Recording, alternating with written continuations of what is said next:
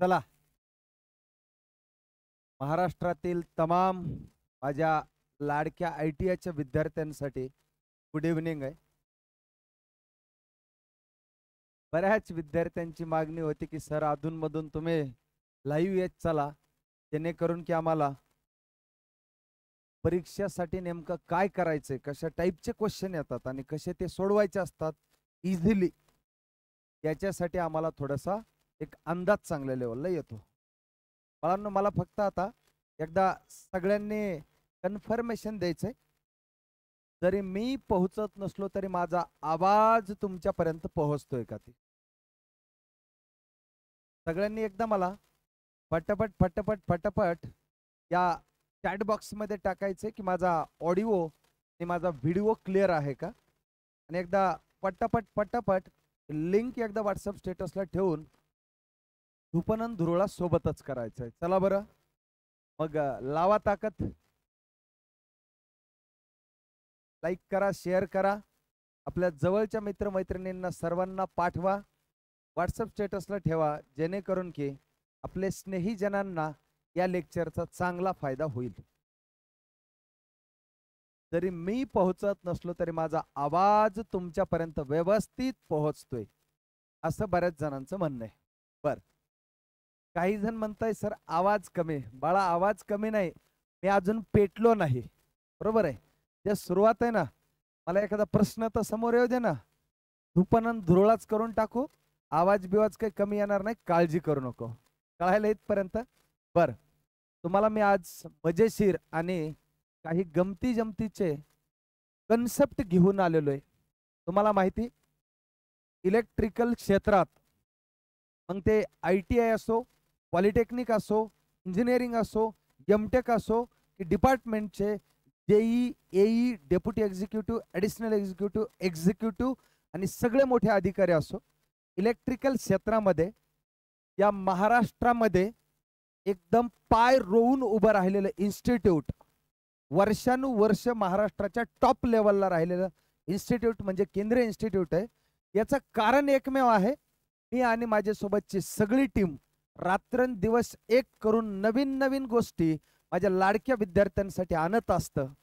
आजही मी काही गोष्टी अशा आणलेल्या आहेत तुमच्यासाठी की तुम्ही ते बघतच राहणार बघतच राहणार. कित्येक वेळा विद्यार्थ्यांच्या कमेंट येतात की सर मूवी पाहत असताना. पिक्चर पाहत असताना सर कधी कधी बोर होतं. पण तुमचं लेक्चर पाहत असताना आयुष्यात कधीच बोर होत नाही. झोपही उडून जाते आणि अभ्यास करायची एक आंतरिक ऊर्जा तयार होते. मित्रांनो ही ज्यावेळेस तुमच्या अशा कमेंट्स असतील ज्यावेळेस तुमच्या असे फीडबॅक असतील त्यावेळेस मलाही वाटतं आणखी पुढच्या वेळेस माझ्या लाडक्या विद्यार्थ्यांसाठी आणखी काही चांगलं करता येतंय का? त्या ठिकाणी आपण पाहूयात. मी आज पण एक नवीन गोष्ट घेऊन आलोय. आता आपण सुरुवात करणार. हळूहळू लोक त्याला कॉपी करायचा प्रयत्न करणार. पण तुम्हाला माहीत आहे ना सुरुवात मी करायला लागलोय ना? बरोबर आहे. म्हणजे पायाभरणीचं काम मी करत असतो. इलेक्ट्रिकल क्षेत्रातलं कोणतंही नवीन काही काम केलं ना तर ती आपण सुरुवात केलेली असते. लक्षात ठेवायचे. आताही मी ती सुरुवात करतोय. हळूहळू हळू तुमच्याकडे आता नवीन गोष्टी यायला लागतील. मुद्दा क्लिअर झाला? सरांचा आवाज भारी. तर भारी. तर शिकवतात लय भारी. थँक्यू चला.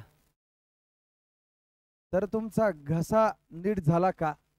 चालत राहतं रे. लेक्चरच्या लोडमुळं कमी जास्त घसा होत राहतो. काळजी करू नको. आज आपण आता सुरुवात करतोय पेपर विश्लेषणला. मला तुम्हाला एक गोष्ट सांगायची हा. एक चांगली गोष्ट सांगतो. यशाचं रहस्य सांगतो हा यशाचं रहस्य. आता काही लोकांचं म्हणणं असेल की खूप अवघड गोष्टी केल्या की सोप्या ऑटोमॅटिक येत असतात.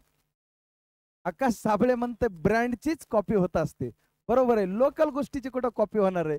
ब्रँड गोष्टीच काय होत असतात? कॉपी होत असतात. बरोबर आहे. पण सगळ्या महाराष्ट्राला माहिती ओरिजिनल ते ओरिजिनलच आहे.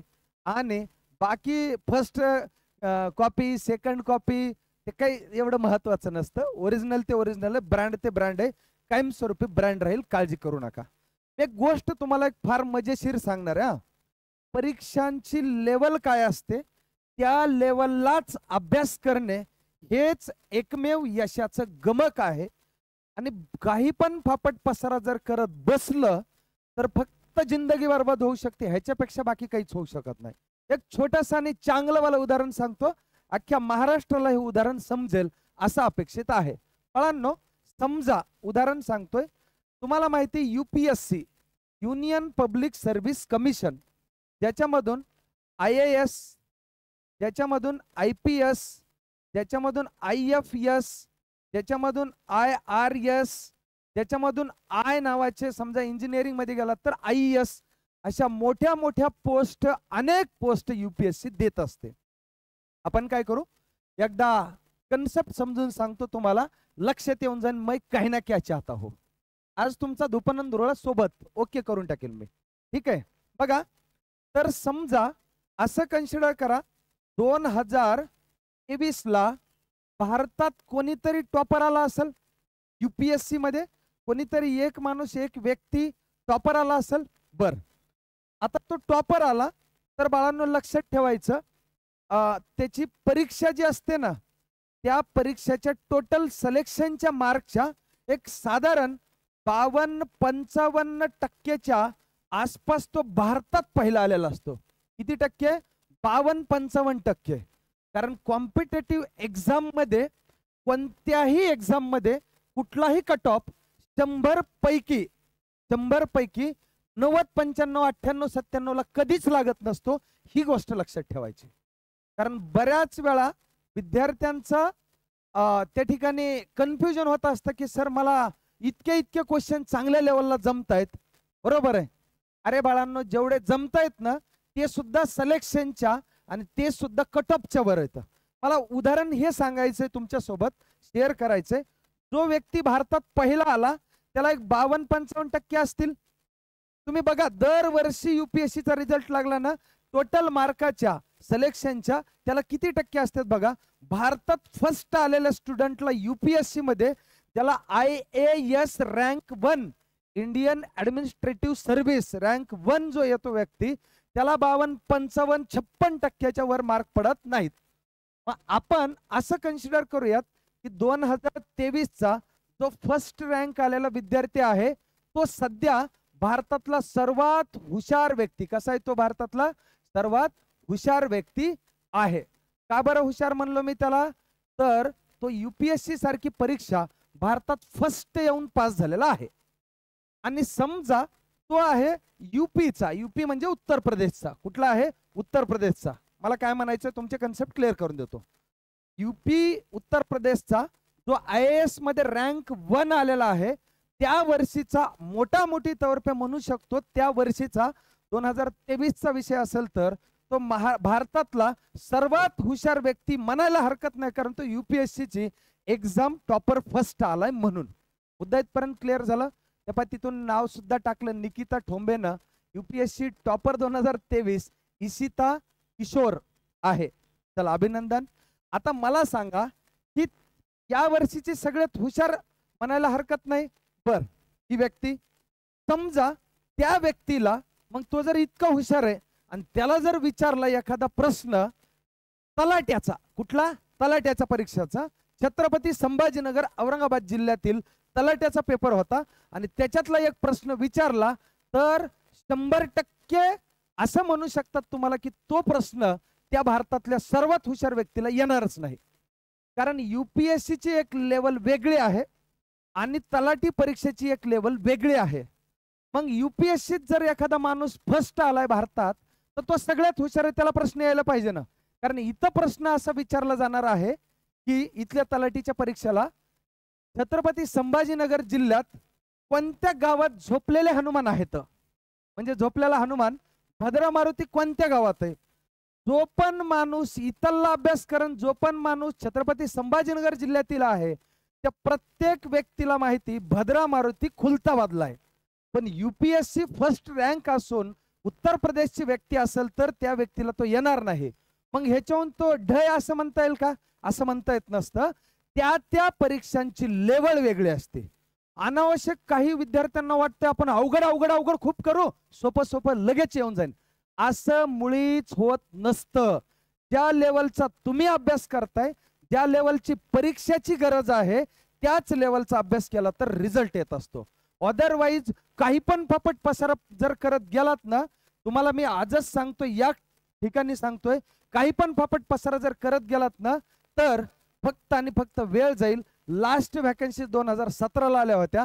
पुढच्या वॅकन्सी दोन हजार तेवीसला आल्या तर इथून पुढच्या वॅकन्सीज दोन हजार एकोणतीस तीस पर्यंत येतील नाही येतील याची काहीही शाश्वती नाही. पण अनावश्यक काहीही फापट पसारा करणं हे सगळ्यात खड्ड्यात जाण्याचं सगळ्यात मोठं लक्षण आहे मग खूप अवघड क्वेश्चन करणं म्हणजे सोपे येतील असं नसतं. जर युपीएससी भारतात पहिला आलेला व्यक्ती सगळ्यात हुशार जर असून त्याला जर छत्रपती संभाजीनगरचा झोपलेला हनुमान कुठे हे माहीत नसेल तर ह्याचं कारण काय असू शकतं? की त्या व्यक्तीने ह्या लेवलची तयारीच नाही केली मग तुम्ही आय टी आयचे लाडके विद्यार्थी इथनं माझे आय टी आयच्या लाडक्या विद्यार्थ्यांना ज्या लेवलची परीक्षा होते ना त्या लेवलचे त्याच्यापेक्षा पाच दहा पटीनं पाच दहा टक्क्यानं पर्सेंटनं थोडेसे जास्त करू शकतो आपण. पण अनावश्यक उगच येई उगच डेप्युटी एक्झिक्युटिव्ह इंजिनियर उगच एक्झिक्युटिव्ह इंजिनियर लेवलच्या परीक्षेचा अभ्यास करणार तुम्ही. तर तुम्हाला ज्या लेवलच्या परीक्षेत प्रश्न येतात का ते तुमच्याच्यानं नाही अख्खा खानदान पेपरला गेला ना तरी सुद्धा सॉल्व्ह होणार नाही. एकदम कळकळीनं सांगतोय बाळांनो. कारण काय होईल माहिती का? बरेच विद्यार्थी मिसगाईड होत आहेत मिसगाईड कसे होत आहेत उगच काही फापट पसारा शिकल्यामुळं. काही फापट पसारा जर तुम्ही करत असाल तर खरं सांगतोय मी अशा पद्धतीनं परीक्षा पास होऊ शकत नाही. तुम्हाला मी आणखी एक चांगलं एक चांगलं उदाहरण सांगतो. कित्येक विद्यार्थी गेटमध्ये रँक येतात चांगला. GATE. Graduate aptitude test in engineering engineering क्षेत्रातील ही एक चांगल्या लेवलची चांगली टफ आणि अवघड असलेली ही परीक्षा आहे. मुद्दा क्लिअर झाला इथपर्यंत? ही परीक्षा आहे. मग ह्याच्यामध्ये चांगला रँक असतो. रँक व्यवस्थित असतो हा. ऑल इंडिया रँक व्यवस्थित असतो त्या व्यक्तीचा. मार्क्स चांगले असतात मार्क्स सुद्धा चांगले असतात पण इकडं या ठिकाणी जेईचा पेपर देतात ते सहज तिकडच्या अभ्यासाच्या भरोश्यावर. कधी येईचा पेपर देतात आणि हे दोन्ही सुद्धा बरेच विद्यार्थी त्या ठिकाणी फेल होतात. का बरं? ते काय हुशार नाहीत का? डेफिनेटली त्यानं गेट क्रॅक केली डेफिनेटली त्यानं गेट रँक चांगला आणलाय तर तो व्यक्ती हुशार आहेच. पण जेईला येईला त्या गेटच्या कम्पॅरिझनमध्ये एकदम पांचट प्रश्न विचारून टाकतात. आणि मग त्या केसमध्ये आपले विद्यार्थी एकदम टफ टफ गोष्टी करून टाकतात. आणि ह्यांना हा क्वेश्चनच सॉल्व्ह होत नाही. आणि अशा केसमध्ये रिझल्ट येत नाही. कित्येक विद्यार्थ्यांचं मी तुम्हाला उदाहरण सांगायला लागलोय. दररोज मागच्या अकरा वर्षापासून ह्याच्यात तप पूर्ण होत आलंय बारा वर्ष. बरोबर आहे? आणि अशा केसमध्ये मी एवढा अनुभव घेऊन इथं बोलतोय तुम्हाला बरं का? म्हणून सांगायलोय कुणी काहीही फापट पसारा बोललं एखादा तुमचा सिनियर एखादा इकडचं तिकडचं कुणी म्हणेन तुम्हाला कारण तेवढा अनुभव नसणार आहे लक्षात ठेवा. सध्या तरी इलेक्ट्रिकल क्षेत्रात या टीचिंग क्षेत्रामध्ये या कन्सेप्ट वरती याच्यात सगळ्यात जास्त निकाल आणलेला तुमच्यासमोर महाराष्ट्रात एकमेव माणूस आहे. आणि तुम्हाला बघायचं असेल तर एकदा लाख दोन लाख लोकांचा सर्वे करायचा इलेक्ट्रिकलच्या तुम्हाला नव्याण्णव टक्के लोक सहदेव केंद्र हे एकच नाव सुचवतील. हा माझा या ठिकाणी ठाम विश्वास आहे. कशामुळे एवढं तळमळीन बोलायला माहिती का? मिसगाईड होणार लाडक्यांनो. अजिबात मिसगाईड व्हायचं नाही. काही फापट पसारा करायचा नाही. बरोबर आहे? आलंय लक्षात? आणि काही वाचत बसायचं नाही कुठलंही काही पण. मुद्दा क्लिअर झालं. जे सांगल त्याच गोष्टी करायच्यात. फापट पसारा करायचा नाही. नाहीतर एक दिवस फक्त रडावं लागं ना एकदा हे जागा निघून गेला ना भाऊ. इथं प्रयोग करायच्या नादात जाऊ नका. बरोबर आहे? ज्यानं इथून मागा अख्ख्या महाराष्ट्रात हिस्ट्री क्रिएट करून टाकली इलेक्ट्रिकल क्षेत्रात. ते तुम्ही थोडस एकदा ना अनालिसिस करा. अख्ख्या महाराष्ट्राचा एकदा सर्वे करा. एकदा बघा एकदम ह्या कोपऱ्यापासून ते त्या कोपऱ्यापर्यंत कोण्याही जिल्ह्यात जायचं आणि इलेक्ट्रिकल क्षेत्राबद्दलचं नाव विचारायचं. एकमेव नाव तुमच्यासमोर येईल. ते म्हणजे सहदेव केंद्र केंद्र इन्स्टिट्यूट एवढं नसतो बोललो मी पण तुम्ही मिसगाईड झालात ना. एकदा एक मी काय म्हणलं? एकदा एक पाच मिनिट दहा मिनिट जातील ह्याच्यावर मला बोलायला. पण बाळांनो मिसगाईड जर झालात ना तुम्ही खरं सांगतो फक्त रडावं लागन बरं फक्त रडावं लागन. आणि रडताना आपली परिस्थिती वाईट होईल त्या केसमध्ये बाळांनो कुणी खांदा द्यायला सुद्धा तयार होत नाही. लोक मेलेल्या माणसाला खांदा द्यायला तयार होतात रे पण ज्यावेळेस आपली परिस्थिती बिकट होते ज्यावेळेस आपलं काही खरं राहत नाही समाजामध्ये त्यावेळेस कुणी रडायला खांदा द्यायला तयार होत नाही. मेलेल्या माणसाला खांदा द्यायला लय लोक तयार होतात. मग आपली परिस्थिती लय बिकट होऊ शकते. मिसगाईड हो नका. त्या लेवलची परीक्षा आहे त्या लेवलपेक्षा दहा टक्के जास्त अभ्यास करूयात आपण. पंधरा टक्के करू वीस टक्केपर्यंत करू. पण काही करू नका. एकदम मनातून तळमळीनं बोंबलून बोंबलून का सांगायलोय? रिझल्ट मी तुम्हाला सांगतो. परीक्षामध्ये गेल्यानंतर तुम्हाला ह्या चेहरा नेहमी आठवण प्रत्येक प्रश्नानंतर आठवण. कारण मी काय लेवलवरती काम करायलोय किती मेहनत मी आणि माझी टीम करायली आमच्या आमच्या जीवाला माहिती आणि जे माझे लाडके विद्यार्थी इथं ऑफलाईनला आहेत त्या विद्यार्थ्यांना माहिती. बरोबर आहे? मिसगाईड व्हायचं नाही चुकून मिसगाईड व्हायचं नाही. आणि प्रयोग करायचे दिवस नाही रे हे. प्रयोग करायचे दिवस नाही तर एकदा सर्वे करायचा पूर्ण महाराष्ट्राचा पूर्ण महाराष्ट्राचा. चार दोन एक दोन इकडं तिकडं नाही अख्ख्या महाराष्ट्राचा सर्वे करायचा. आणि त्यानंतर ज्यांच्याबद्दल तुम्हाला वाटतंय जे रिझल्ट देऊ शकतात त्यांचंच ऐकायचं. माझ्यापेक्षा जास्त नाव एखाद्याचं पुढं आलं की राज रोज जा. पैसे नसतील तिथली फीस भरायला मला सांगा. आमच्या फक्त फक्त त्याचे रिझल्ट जास्त असावेत नाव जास्त असावा. अख्ख्या महाराष्ट्राचे क्लास वन क्लास टू अधिकारी ट्रान्सको जनको डिस्कॉमचे जायचं सर्वे करायचा. नाव जर आपल्यापेक्षा एकाचंही नाव कोणी सांगितलं पुढं तर मी तुम्हाला या क्षणी सांगतो तिथं जायचं बिंदास. मी नसतो बोललो पण ना पोरं मला कधी कधी उगा मेसेज टाकतात कधी कधी फोन करतात की सर हे आणि ते करू का हे करू का आणि ते करू का? मी त्याला सांगत असतो बाळा चुकतोय बरं तू. अनावश्यक फापट पसारा करशील. तर तुझं फार मोठं नुकसान होऊ शकतंय आणि त्यावेळेस रडायला कोणीही खांदा देणार नाही.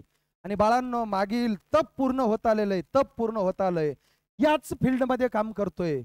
नॉन स्टॉप काम करतोय. कोविडच्या काळामध्ये सगळं बंद पडलं होतं मोठ्या मोठ्या बिल्डिंगचे. रेंट भाडे भरू भरू काम करतोय. एकही दिवस क्लास असा मी सोडून दिलाय आणि दुसरं काहीतरी कंपनी तिकडं तिकडं कामाला गेलोय आणि पोटापाण्याचा प्रश्न भागविला असं नाही. कधी कधी अडचण आली असेल माझ्या जीवनामध्ये आर्थिक अडचण आली असेल पण तरी सुद्धा मी मैदान सोडून कधीही पळालेलं नाही. म्हणून मी एकच सांगतोय की जे काय आहे ते खरं आणि जे काय आहे ज्या लेवलला लागतं त्याच लेवलचा अभ्यास करा तरच परीक्षा पास होऊ शकतं. मनातून तळमळीन सांगा वाटलं माझ्या लाडक्या भावंडांना मी सांगायचा प्रयत्न केलाय. ज्यांना विश्वास आहे त्यांनी विश्वास ठेवा. ज्यांना विश्वास नाही त्यांनी प्रयोग जिथं होतात तिथं जा. प्रयोग प्रयोगामध्ये असा प्रयोग फसला ना भाऊ तर जिंदगीत पुन्हा उबदारा यायचा विषय नाही. पुन्हा पुन्हा सांगतोय. आकाश भाऊची आकाश घाडगेची खूप कंटिन्यू कमेंट येते मी वाचतो बरं तेवढी. आकाश काय म्हणतो रे बाळा? तर मी ऑनलाईन बॅचचा स्टुडंट असलो तरी मी मी आणि आम्ही सगळे ऑनलाईन बॅचचे स्टुडंट कमी पडणार नाहीत तब द्यायला. ऑनलाईन असो की ऑफलाईन तर तर एकच आहेत ते म्हणजे केंद्रीय सर अरे वा! हा दृढ निश्चय मनात ठेवायचा आहे. तुम्ही केंद्रीय इन्स्टिट्यूटचे लेकरं ऑनलाईन असो की ऑफलाईन असो काळजी करू नका. आकाश घाडगेनं जो दृढ निश्चय ठेवलाय ना की सर ऑनलाईन असो की ऑफलाईन असो सर तर एकच आहेत शिकवायला. तर बाळांनो बरं मी काय म्हणतोय तुम्ही एकदा ना आपल्या चॅनलवरती असणारे सगळे व्हिडिओ बघा रे. बरोबर आहे. त्याच्यानंतर वेगवेगळ्या पुस्तकांमधले प्रश्न सोडवा सोडवायचा प्रयत्न करा रे. शुअर तुमचे प्रश्न त्या ठिकाणी येतील. बरोबर आहे. मुद्दा क्लिअर झाला?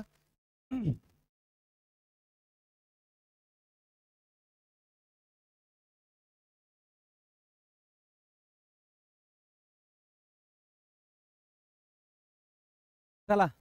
तर मला फक्त एवढंच सांगायचं होतं की मोठा मोठा अभ्यास केला म्हणजे छोट्या छोट्या परीक्षा पास होईल असं काहीही नसतं.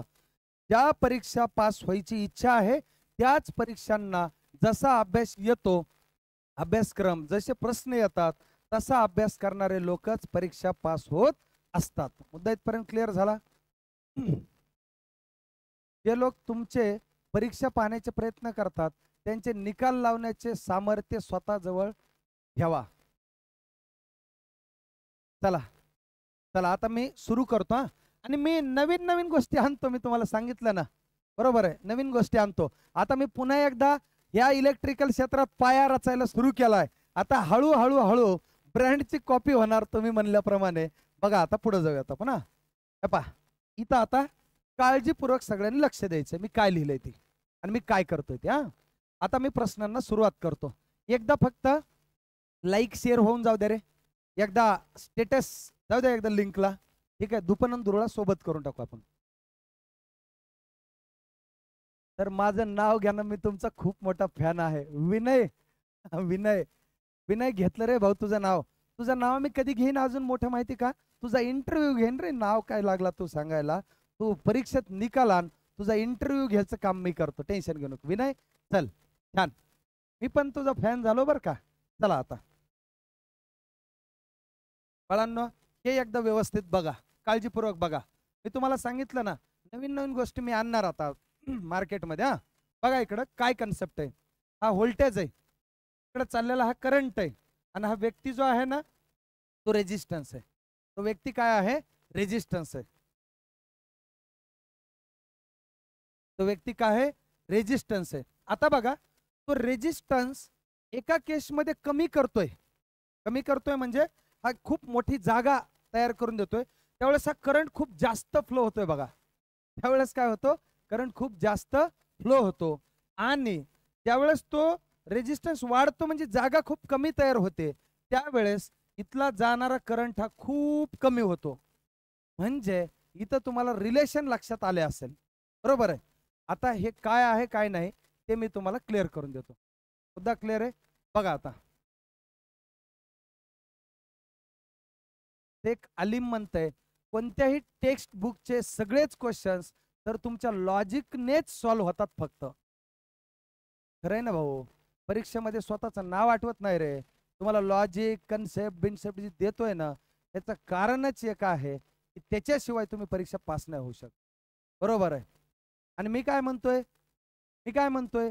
आता महाराष्ट्रातले जेवढे विद्यार्थी असतील तेवढ्यांनी आपले युट्यूबचे बी लेक्चर न पाहता आणि माझी ऑनलाईन ऑफलाईनची बॅच पण न करता सेल्फ स्टडी किंवा इकडून तिकडून फापट पसारावालं अभ्यास करा. तुम्ही परीक्षा पास होतात का एकदा? एक प्रयोग करा. दोन हजार एकोणतीस तीसला पुन्हा एक फॉर्म भरा. मुद्दा क्लिअर आहे? चलो आता आपण जाऊयात पुढं. वाय चौऱ्या म्हणतोय सर डिस्कॉमच्या वॅकन्सी कधी येणार आहे? चौरे साहेब आता पुन्हा मला ह्याच्यावरती बोलायला लावू नका. रिझन हे आहे ट्रान्सको सारखं डिपार्टमेंट सध्या महाराष्ट्रात दुसरं कोणतंच नाही. आणि ह्याच्यावरती त्या ठिकाणी सगळ्यात जास्त लोकांचे स्वप्न असतात. आणि अशा केसमध्ये एवढ्या चांगल्या जागा आलेल्या असताना सुद्धा त्या ठिकाणी सगळ्यात महत्वाचं त्या ठिकाणी तुम्ही डिस्कॉमचं विचारतायत. डिस्कॉमच्या जागा येतील कधी येतील ते मी तुला माहीत झालं कन्फर्म की तुला सांगेल काळजी करू नको. सध्या ट्रान्सको मिशन ट्रान्समिशन एवढंच ध्येय लक्षात ठेव. महापरेशनमध्ये लागायचं असेल तर केंद्रीय सरांनाच गुरु करायलाच पाहिजे. तर कुठंतरी फळ भेटतं. नाही आता बघा पुढे जाऊयात आपण हा. आता क्वेश्चन समजून. The unit of inductance is henry बाळांनो इंडक्टन्सचं युनिट काय आहे? हेनरी आहे हेनरी बरोबर आहे? हेनरी बरोबर आहे? But the unit of inductive reactance is dash dash ऐका. Unit of inductive reactance is dash dash. सुद्धा क्लिअर झाला? ऐका आता. लय लोड वाढलाय रे बॅचेसचा मधातच घसा पंक्चर व्हायला माझा. बघा इकडं. काय सांगतोय लक्ष द्या इकडं बघा. समजून घ्या व्यवस्थित. आता बऱ्याच लोक याला ना फॉर्म फॉर्ममध्ये हेनरी बिनरी उत्तर लिहून येतात. काय उत्तर लिहून येतात? हेनरी. का माहिती का? इंडक्टन्स आणि इंडक्टिव्ह रिॲक्टन्स सारखंच वाटतं. पण याचं उत्तर बाळांनो आधीच मी सांगून देतो ओहम आहे काय याचं उत्तर? ओहम आहे ओहम.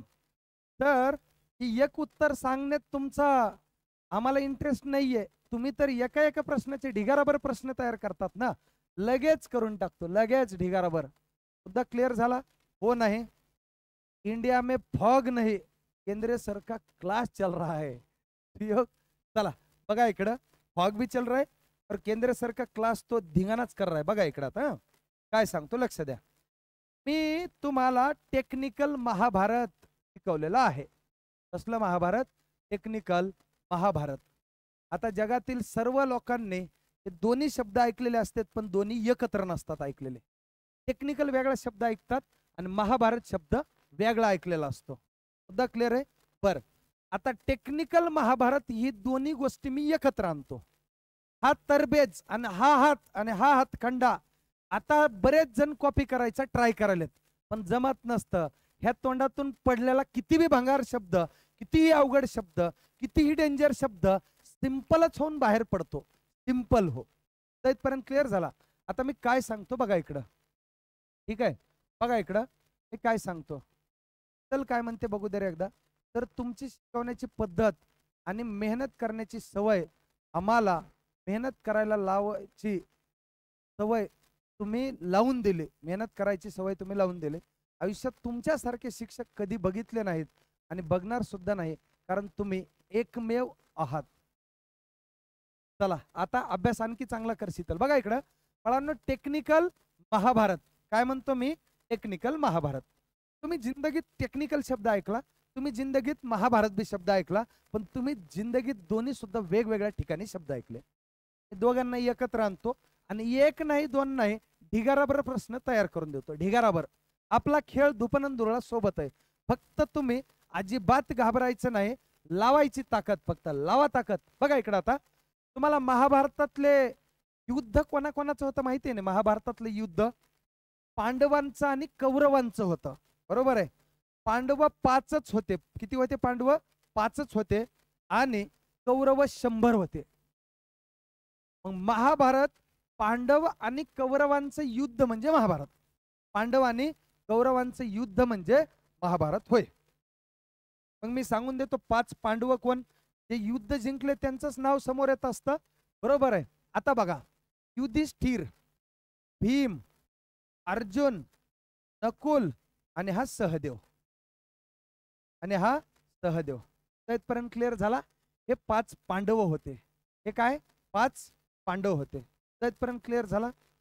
तर माझी पॉलिटेक्निक चालू आहे आणि माझ्या एक्झाम डिसेंबरमध्ये आहेत. जर मी जानेवारीपासून स्टडी सुरू केली तर जमेल का? असं तर मी रोज तीन आवर डेली महा ट्रान्सकोचा अभ्यास करतोय. मेड फॉर फन बाळा तुम्हाला फोन कर किंवा मॅसेज करून ठेव. मी तुला एक प्लॅन बनवून देतो चांगला. बघ इकडं. युधिष्ठिर भीम अर्जुन नकुल आणि सहदेव. हे पाच काय होते रे बाळांनो? पांडव. काय म्हणायचं पांडव. सुद्धा क्लिअर झाला? हे पाच पांडव होते. पाच पांडव. सुद्धा इथपर्यंत क्लिअर झाला? बर. आता हे जसे पाच पांडव होते ना तसे पाच ओहमा असतात. आपल्या टेक्निकलमध्ये पाच ओहमा असतात. तर कोणते पाच ओहमा? इकडं बघ. रेजिस्टन्स याचं पण युनिट ओहमाचं असतं. दुसरं रिॲक्टन्स तिसरं इंडक्टिव्ह रिॲक्टन्स कसला? इंडक्टिव्ह रिॲक्टन्स चौथं कॅपॅसिटिव्ह रिॲक्टन्स आणि पाचवं इम्पिडन्स पाचवं काय? इम्पिडन्स वा पाच पांडव आणि पाच ओहम. आता वाय पाच ओहम इकडं लक्षात घ्यायचं नाव लिहून देतो. ह्याला म्हणायचं रेजिस्टन्स बरोबर आहे? याला म्हणायचं रिॲक्टन्स काय रे? रिॲक्टन्स अजिबात विसरायचं नाही हा. ह्या असतो तुमचा इंडक्टिव्ह रिॲक्टन्स जो विचारलाय परीक्षेत. ठीक आहे? इंडक्टिव्ह रिॲक्टन्स आता जे लोक रट्टा मारतील त्यांना एकच लक्षात राहील. पण मी लेकरांना रट्टाच मारू देत नाही रे आपल्या. त्यांना स्पष्ट सांगतो माझ्या लॉजिकनं चल. तुझं काम ओके होऊन जाईल. कॅपॅसिटिव्ह रिॲक्टन्स कसला reactance capacitive reactance capacitive reactance त्याच्यानंतर इम्पिडन्स काय? इम्पिडन्स मी नावं पण सांगून दिले सगळ्या गोष्टी पण क्लिअर करून दिल्या. ओके आता ह्या पाचही जणांचं युनिट बाळांनो ओहम आहे. काय युनिट ओहम आहे. तर क्लिअर झाला का? जसं हे पाच जण इकडं बघ ना. जसं हे पाच जण म्हणजे पाच पांडव कौरवांना अपोज करायचे. कोणाला? कौरवांना अपोज करायचे. तसे हे पाच ओहम सुद्धा वेगवेगळ्या गोष्टींना अपोज करतात. काय करतात? वेगवेगळ्या गोष्टींना अपोज करतात. केंद्रीय सर क्लास लगाने के बाद आपको कंसेप्ट भूलने के लिए इंजेक्शन लेना होगा. खरं हे. तुम्हाला मी सांगू का? आपण शिकवलेलं गजनीला सुद्धा लक्षात राहतं. गजनीला गजनीला. गजनी माहिती ना गजनी पिक्चर बरोबर आहे. तुम्ही तर गजनीपेक्षा जास्तच लक्षात ठेवणार लेकर आहेत ना रे. बरोबर आहे. हो नाही तर मी विचार करीत आहे की मला तुमचे केव्हा दर्शन होईल? मला अंकुश मी इथं असतो छत्रपती संभाजीनगरला कधीही ये आपण एकमेकांचं दर्शन घेऊ. ये चला. आता बघा मी काय सांगतोय. बघा युधिष्ठिर भीम अर्जुन नकुल आणि सहदेव हे पाच पांडव होते. हे शंभर कौरवांना अपोच करायचे. काय करायचे? शंभर कौरवांना अपोज करायचे. बाळांनो तसे पाच ओहम आहेत आपल्या इलेक्ट्रिकलच्या भाषेत आणि ते कोणते कोणते?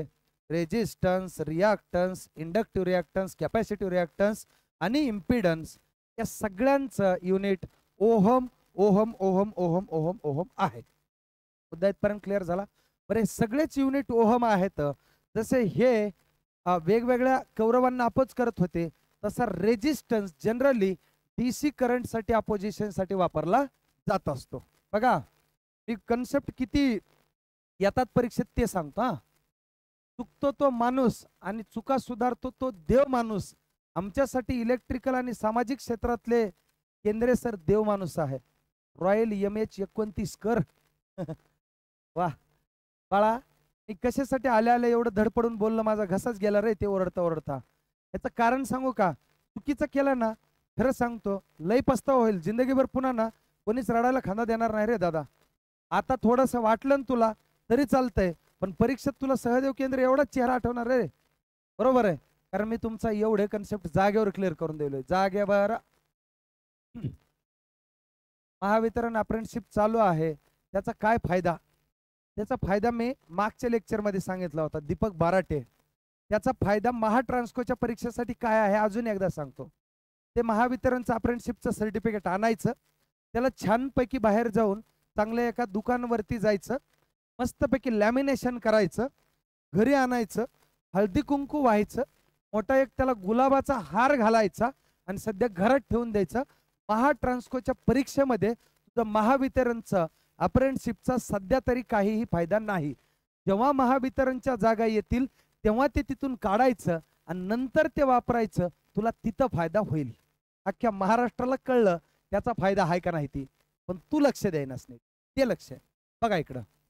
हळद कुंकू हा बघ ना ते हळद कुंकू. ठीक आहे. सांगा आता. कळलं का रे बाळांना मी सांगत होतो पाच पांडव इथं शंभर कौरवांना अपोज करतात. इथं बोल पाच ओहम येतं पाच ओहम येतं त्यांचे युनिट ओहम ओहम ओहम येतं आता हा रेजिस्टन्स डीसी करंटला अपोज करण्यासाठी मोठा मोठी रुपये वापरला जात असतो. रिॲक्टन्स बघा रे रिॲक्टन्स शॉर्ट सर्किट करंटला वापरला जात असतो.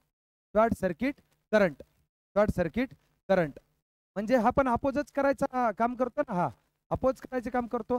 हे जसे पाच पांडव शंभर कौरवांना अपोज करत होते अडवत होते तसं हे सुद्धा पाच ओहम कोणाला ना कोणाला तरी काय करणार त्या ठिकाणी त्या ठिकाणी अपोज करणार आहेत. मुद्दा इथपर्यंत क्लिअर झाला? बर. आता इंडक्टिव्ह रिॲक्टन्स किंवा इथं मी कंसात इथं लिहून टाकतो इंडक्टन्स काय रे? इंडक्टन्स लय महत्त्वाचा आहे भरपूर परीक्षेत प्रश्न आलेला आहे बरं का? ठीक आहे. आता इंडक्टन्स हा sudden change sudden change in voltage sudden change in current करंटला अपोज करतो. करंटला अपोज करतो. म्हणजे एसी सप्लायला अपोज करत असतो इंडक्टन्स कळलंय का रे? त्याच्यानंतर कॅपॅसिटिव्ह रिॲक्टन्स त्याला मी इथं कंसात कॅपॅसिटन्स लिहितो. कॅपॅसिटन्स म्हणजे सी हा कोणाला अपोज करतो? इकडे बघ. सडन चेंज इन व्होल्टेजला अपोज करतो. कशाला अपोज करतो? Sudden change. इन व्होल्टेज ला अपोज करतो आणि इम्पिडन्स एकटाच पट्ट्या असा आहे म्हणतो कोणी बी या. बरोबर? जो येईल अंगावर त्याला घेईल सिंगावर.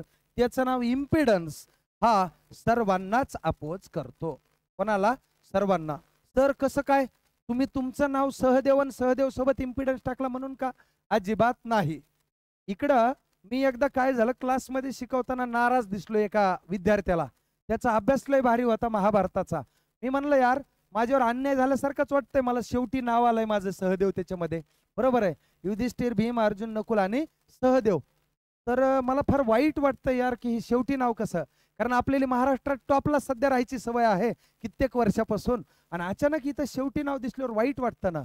मग तो विद्यार्थी क्लासमध्ये उभा राहिला आणि मला म्हणला सर तसं नाही म्हणला ज्या व्यक्तीमुळे महाभारत घडलं त्याचं नाव मामा शकुनी आणि मामा शकुनीला आता मला माहीत नाही अजून महाभारतात ते खरं आहे का काय? कारण माझा तेवढा अभ्यास नाही त्या विद्यार्थी आहेत का तो म्हणे मामा शकुनीला अडवण्याचं काम आणि मामा शकुनीला मारण्याचं काम सहदेवानं केलंय. त्याच्यामुळं सगळ्यात मोठं सगळ्यात मोठं नाही कंपॅरिझन नाही पण खूप मोठं काम सहदेवनं महाभारतामध्ये बजावलेलं आहे. आदो मला जरा वाईट वाटायचं ना? मला वाईट काय वाटायचं? की युधिष्ठिर भीम अर्जुन नकुल आणि सहदेव आपलं नाव सहदेव आहे हे सगळ्यात खालच्या कडेला बरं नाही वाटायचं. कारण आपल्याला एकदम टॉपला राहायची सवय आहे ना पहिल्यापासून. बरोबर आहे? बरोबर आहे? साला झुकेगा नाही. म्हणजे ती मै झुकेगा नाही साला. बरोबर आहे? तसं हे मी बोललो क्लासमध्ये जरा नाराजी वाटली माझ्या बोलण्यातून. तो विटला क्लासमधून आणि मला म्हणतो सर तसं नाही आहे म्हणे.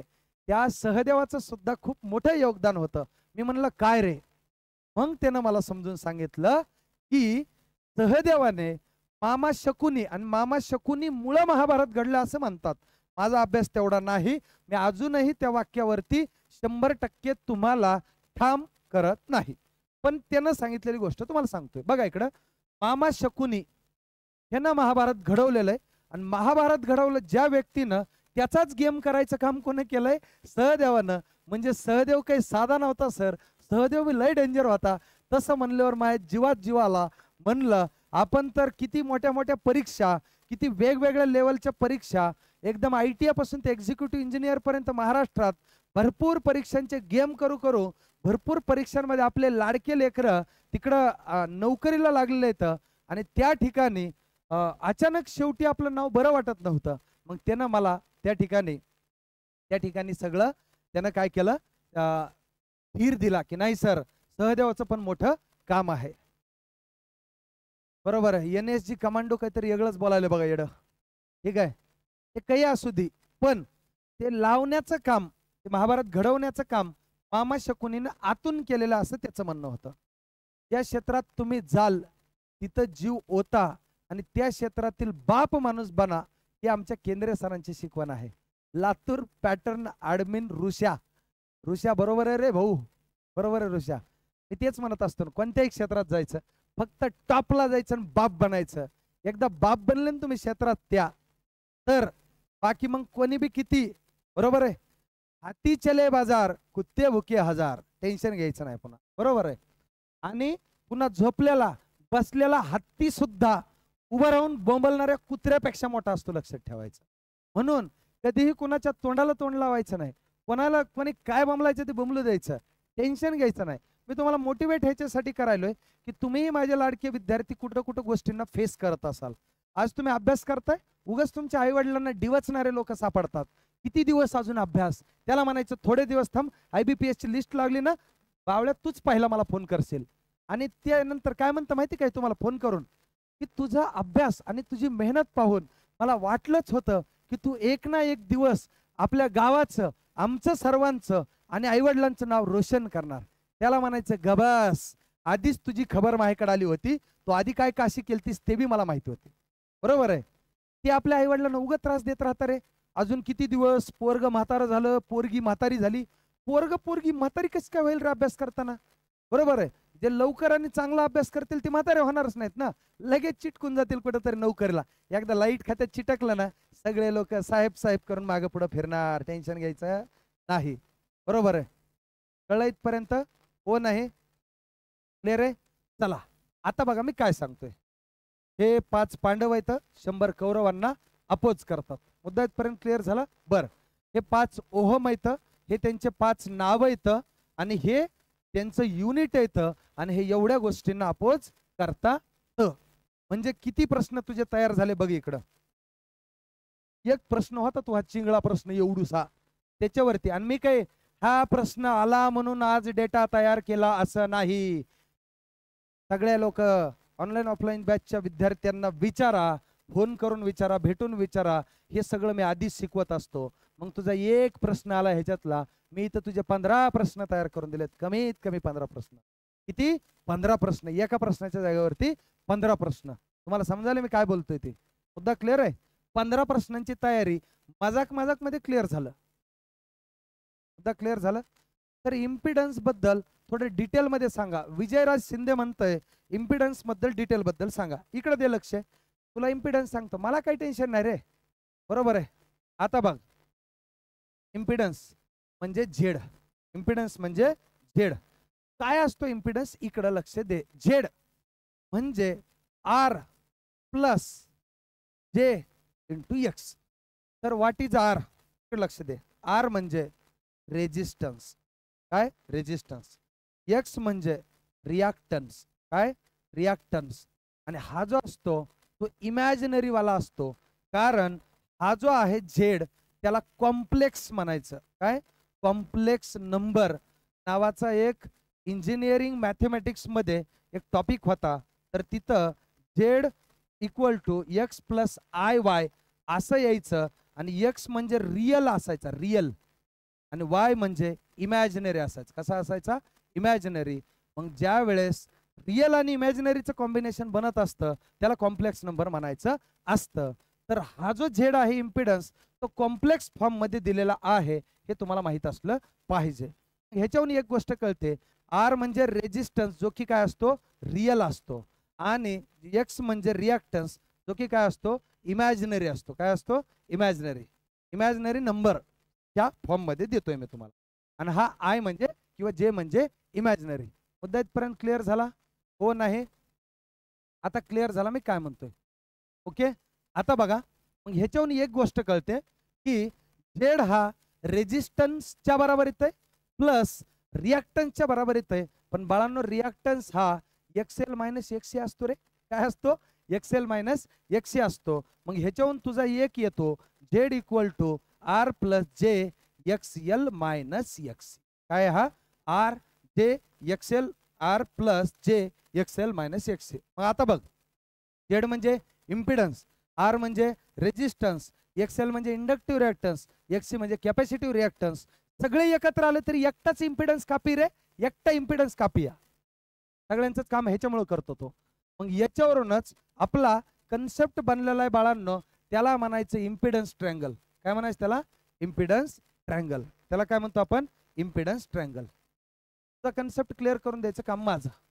इम्पिडन्स ट्रँगल बघ इकडं आता काय आहे तो? इम्पिडन्स ट्रँगल काय करायचं?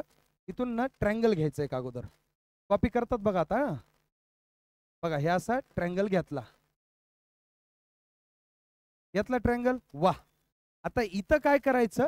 इथं घ्यायचा यक्स इथं घ्यायचा वाय किंवा इथं घ्यायचा आर. आर म्हणजे रेजिस्टन्स इथं घ्यायचा यक्स म्हणजे रिॲक्टन्स आणि इथं घ्यायचा झेड झेड म्हणजे इम्पिडन्स झेड म्हणजे काय? इम्पिडन्स वा आता हे एकदा घेतलं की ह्याला थोडंसं असं बारीक करायचं. तुम्ही नाही करायचं. माझ्याकडे जागा इथं कमी कराय कमी पडते म्हणून मी करायलोय. मग तुम्हाला इथं पायथागोरस थेरप वापरायचंय काय? पायथागोरस थेरम पायथा किंवा पायथागोरस.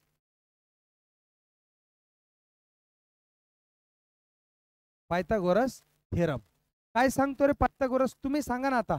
तुम्ही सांगायचा पायथागोरस थेरम. कमेंटमध्ये टाका. टाका पटकन.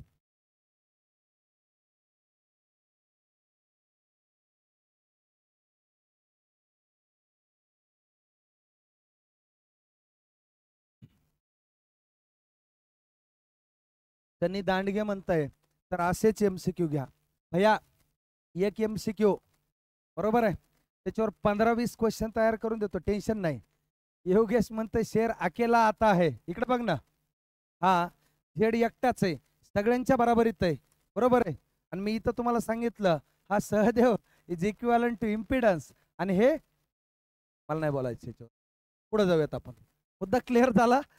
बरोबर आहे? चला आता. क्लिअर झालं इथपर्यंत. बघा आता.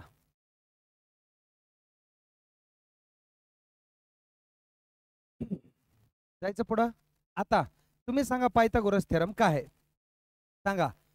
झेडचा स्क्वेअर इक्वल टू आरचा स्क्वेअर प्लस एक्सचा स्क्वेअर आहे का हा पायथागोरस थेरम बरं. मग ह्याच्यावरून तुम्हाला काढायचं आहे झेड झेड म्हणजे इम्पिडन्स तर square root on both side म्हणजे दोन्ही साईडला काय करायचं? स्क्वेअर रूट घेऊन टाकायचा. कर्ण वर्ग बरोबर उंची वर्ग अधिक बाजू वर्ग. लेकर एकदम हुशार आहेत रे. ठीक आहे?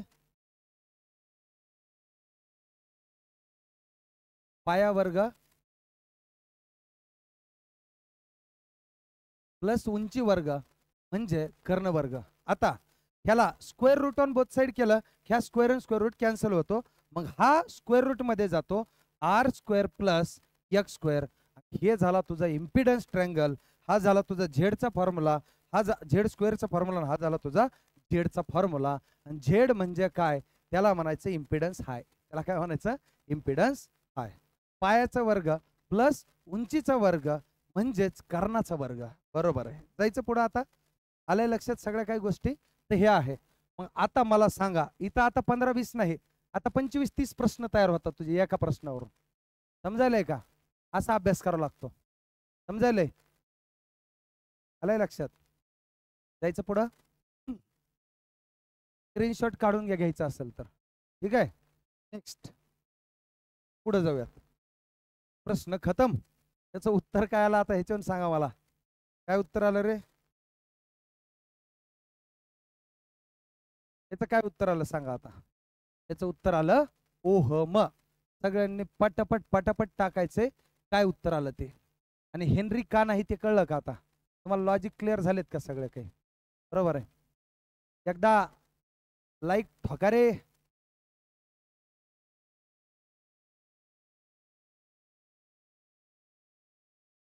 तर तुमचे सर्वात मोठे फॅन लातूर जिल्ह्यात आहेत.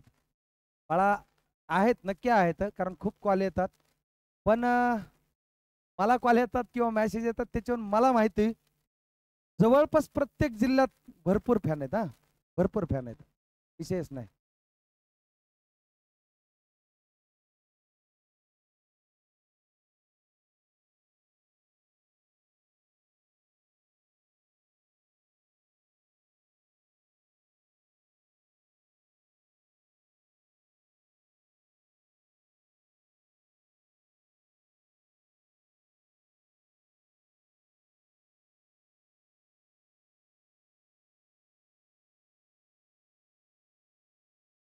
जायचं पुढं?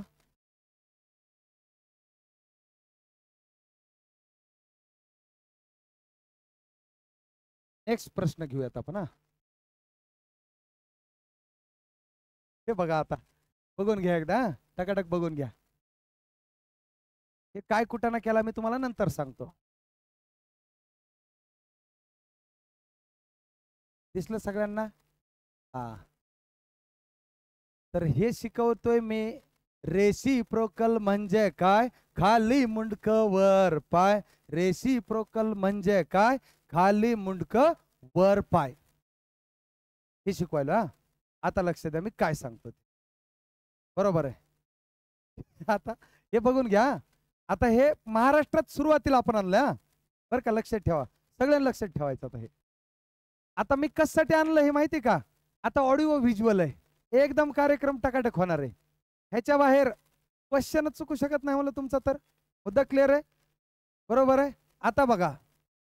मी काय वाक्य सांगितलं सांगा. रेसिप्रोकल म्हणजे काय? खाली मुंडक वर पाय. रेसिप्रोकल म्हणजे काय? खाली मुंडक वर पाय. हे लक्षात ठेव आता. मग तुझा रेसिप्रोकल क्लिअर होऊन जाईल काय क्लिअर होऊन जाईल तुझा? रेसिप्रोकल क्लिअर होऊन जाईल. उद्यापर्यंत क्लिअर झाले. हो कोण आहे आता लक्ष द्यायचं मी काय सांगतो ते. बरोबर आहे? आता हा क्वेश्चन सोडूयात आपण. अरे याचं खाली मुंडकं वर पाय. तसंच अडकलं ते वर. अडकू द्या काही अडचण नाही. ठीक आहे? कारण रेसिप्रोकल म्हणजे काय? खाली मुंडकं वर पाय. लॉकच झालं ते. मुद्दा क्लिअर आहे? आता बघा मी काय सांगतो. रॉयल बीडकर कुलदीप म्हणतोय सर तुमचे सर्वात जास्त फॅन बीड जिल्ह्यात आहेत. अरे बाळा सगळ्या महाराष्ट्रात आहेत रे. असं नका ना करू जिल्हा वाईज विभागणी करू नका ना मला. बरोबर आहे? अख्ख्या महाराष्ट्रात आपल्याला प्रतिसाद आहे रे दादा. ठीक आहे? धन्यवाद. तुम्हा दोघांच्या प्रेमाबद्दल मी नक्कीच मला बरं वाटतंय. पण सगळीकडे आहेत आपले फॅन. हा ती प्रतीक्षा बरोबर टाकते बघा. इलेक्ट्रिकल क्षेत्रातील गुरु म्हणजेच हॅशटॅग केंद्र सर आहे. अख्ख्या महाराष्ट्रात आहे रे दादा. ठीक आहे? चला. शिकवल्यानंतर विसरणं अशक्य आहे. खरंच विसरणं अशक्य आहे. आता मी तुला सांगून देतो लक्ष दे इकडं काय सांगतो बघ इकडं बघा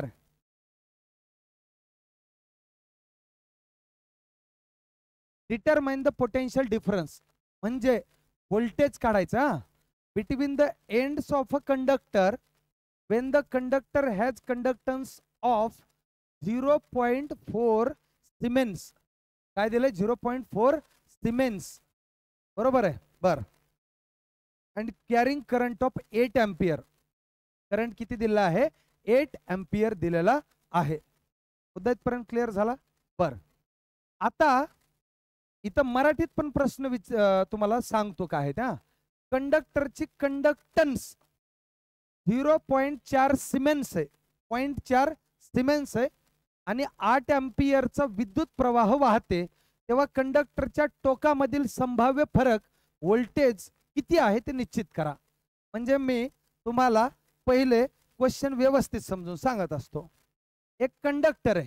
काय हा एक कंडक्टर आहे समजा. काय हा कंडक्टर आता लक्ष द्या मी काय सांगतो. This is the conductor okay आता या कंडक्टरचा या कंडक्टरचा त्या ठिकाणी कंडक्टन्स दिला आहे कंडक्टन्स म्हणजे बाळांनो जी बाळांनो काय? जी आणि तो दिलेला आहे झिरो पॉईंट फोर सिमेंट्स काय आहे? झिरो पॉईंट फोर सिमेंट्स बर. याच्यातून जाणारा करंट मित्रा दिलेला आहे आठ अँपियर काय दिलेला आहे? आठ अँपियर लक्ष द्या दिलेल्या गोष्टी सांगालोय तुला. आणि विचारताना भस्कुन्या विचारलंय voltage equal to question mark voltage equal to भस्कुन्या काय विचारलंय? क्वेश्चन मार्क मग हे सर आम्हाला तर असा प्रश्न कसा सोडवायचा कळतच नाही. मी कशासाठी आहे? मी त्याच्यासाठीच आहे ना. कोणते प्रश्न कसे सोडवायचे ते मला चांगलं तुम्हाला सांगायला जमेल असा मी या ठिकाणी तुमच्यासाठी प्रयत्न करेल. बघ इकडं आता. तुला क्वेश्चन कळला का? एक कंडक्टर आहे. कंडक्टर म्हणजे काय रे? वाहक. दादा काय रे? वाहक. याला काय म्हणायचं? वाहक. वाहक म्हणजे कंडक्टर या कंडक्टरचा जी जी म्हणजे कंडक्टन्स काय म्हणलं मी? कंडक्टन्स लक्ष द्या. कंडक्टन्स हा झिरो पॉईंट चार सिमेंट्स दिलाय. तर सिमेंट्स म्हणजे काय हो? सिमेंट्स म्हणजे बाळांनो ह्याचा अर्थ असा आहे की वन बाय ओहम त्यालाच मोह म्हणतात. इकडे मी लिहून देतो. Siemens okay? सिमेंट्स त्याच्यानंतर वन बाय ओहम त्याच्यानंतर मोह त्याच्यानंतर ओहम इनवर्स. हे एवढे चार युनिट आहेत बघा त्याचे. कशाचे कंडक्टन्सचे कोणते कोणते? आहे कधी कधी परीक्षेत सिमेंट्स देतील. कधी कधी वन बाय ओहम देतील. कधी कधी मोह देतील. मोह मोह म्हणजे मोह ओहमच्या उलट. बरोबर आहे? कधी कधी ओहमचा इनवर्स देतील. ओहमच्या टकल्यावरती मायनस एक देतील. मुद्दा इथपर्यंत क्लिअर झाला? हो नाही? बर.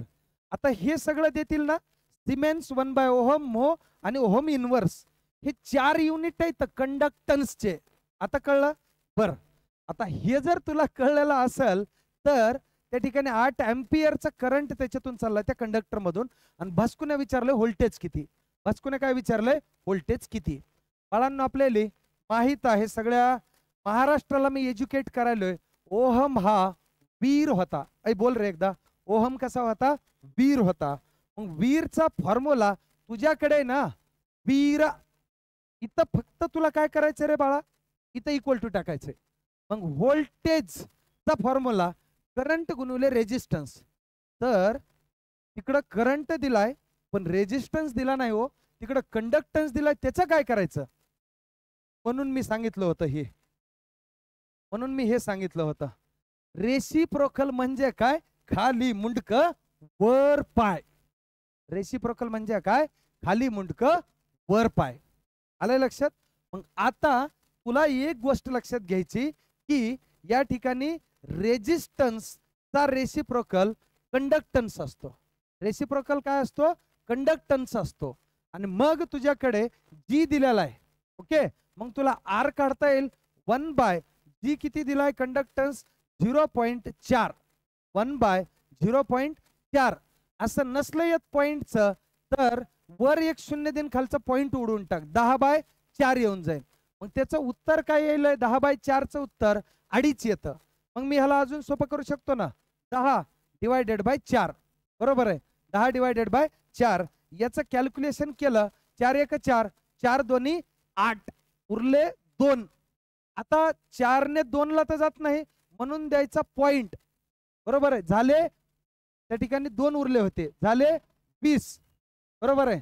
मग चारा पंचे वीस. तुझा रेजिस्टन्स किती आला रे बाळा? दोन पॉइंट पाच ओहम. मग मला सांगा मी काय सांगितलं तुम्हाला? रेसिप्रोकल म्हणजे काय? खाली मुंडक वर पाय. रेसिप्रोकल म्हणजे काय? खाली मुंडक वर पाय. लॉजिक काय कळलं का आता? रेसिप्रोकल म्हणजे काय? खाली मुंडक वर पाय. आता झालंय तुझं क्लिअर इथपर्यंत? बर. मग तुझं खाली मुंडक वर पाय झालं. म्हणजे रेजिस्टन्स करंट प्रश्नात दिलेला आहे. आणि तुला भास्कुने विचारायला व्होल्टेज आहे. भास्कुने काय विचारलंय? व्होल्टेज मग तो आहे आय आर आता तुझ्याकडे फॉर्म्युला आहे. ना अय हे बी नाही लक्षात ठेवायचं रे. मी तर तुला सांगायलो ना दोन चार हजार फॉर्म्युले तुला मजाक मजाकमध्ये पाठ करून देतो तुझे तर. इकडे बघ. P equal to I R पण मी सांगितलंच नाही तुला असले पानसट फॉर्म्युले मी तुला सांगितलंय ओहम. आपला ओहम जो आहे तो वीर होता. अय वीर होता का नाही तो ओहम? ओहम ना म्हणजे ओहम स्लॉ मध्ये मी शिकवलंय. ओहम वीर होता. ओहम काय होता? वीर होता. जर मग ओहम वीर होता तर वीरची स्पेलिंग तुला येणार नाही का? वीरची स्पेलिंग तुला येणार नाही का? B equal to I into R मग आता ठेव की तू ह्याकडे रेजिस्टन्स आहे करंट आहे. मग वीर ठेवला मग ठेव आठ गुणविले. इथं दोन पॉईंट पाच मग अडीच एक अडीच आणि अडीच आठ किंवा आठ दोन्ही सोळा आणि पुन्हा पॉईंट फाईव्ह न केलं तर त्याचं V equal to twenty volt इतकं उत्तर यायला पाहिजे? मला सांग तुला प्रश्न कळला का? तुला प्रश्न तुला त्याचं उत्तर कळलं का? मंगेश जगताप म्हणतंय ओहम वीर होता पण आपण व्ही आय पी आहोत. मी हे पण सांगितलंय आपणही कोणाच्या बापाला कमी नाही तर आपण व्ही आय पी इथं. मग व्ही आय पी म्हणजे V I equal to P P म्हणजे पॉवर व्ही म्हणजे व्होल्टेज आय म्हणजे करंट मग पॉवरचा फॉर्म्युला तुझा आलाय व्होल्टेज गुणविले करंट ओहम वीर होता पण आपण व्ही आय पी आहोत. कशा आहोत आपण? व्ही आय पी मला सांग. आणि कुलम चोट्टा ए सगळेच लॉजिक इथं टाकायला? जिथं प्रश्न येईल तिथं टाकूत ना आपण टेन्शन नको घेऊ. कुलम चोट्टा होता. किरचॉप झिरो लई सांगितलं मी अजून बरेच गोष्टी. ठीक आहे? बघा इकडं. तर क्वेश्चन असा आहे. एक कंडक्टर आहे. त्याचा कंडक्टन्स दिलाय. आणि तिकडं एक करंट दिलेला आहे. पण आपल्याला व्होल्टेज विचारलंय. व्होल्टेजचा formula V equal to I R माहिती. पण तिथं आर दिलेलाच नाही. जी दिलेला आहे. जी म्हणजे कंडक्टन्स जी म्हणजे कंडक्टन्स आणि मग G equal to one by R किंवा R equal to one by G मग one by G one by zero point four केलं अडीच उत्तर आलं आणि अडीच गुणविले करंटला मल्टिप्लाय केलं.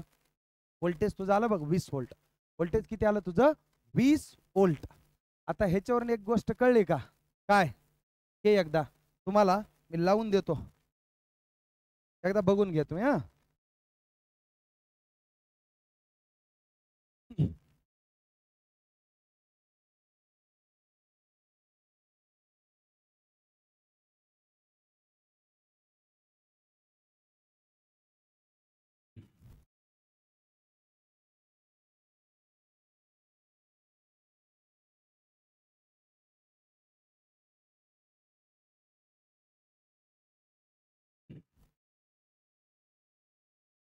विशाल डाके म्हणतोय सर प्लीज़ माझं एकदा नाव घ्या.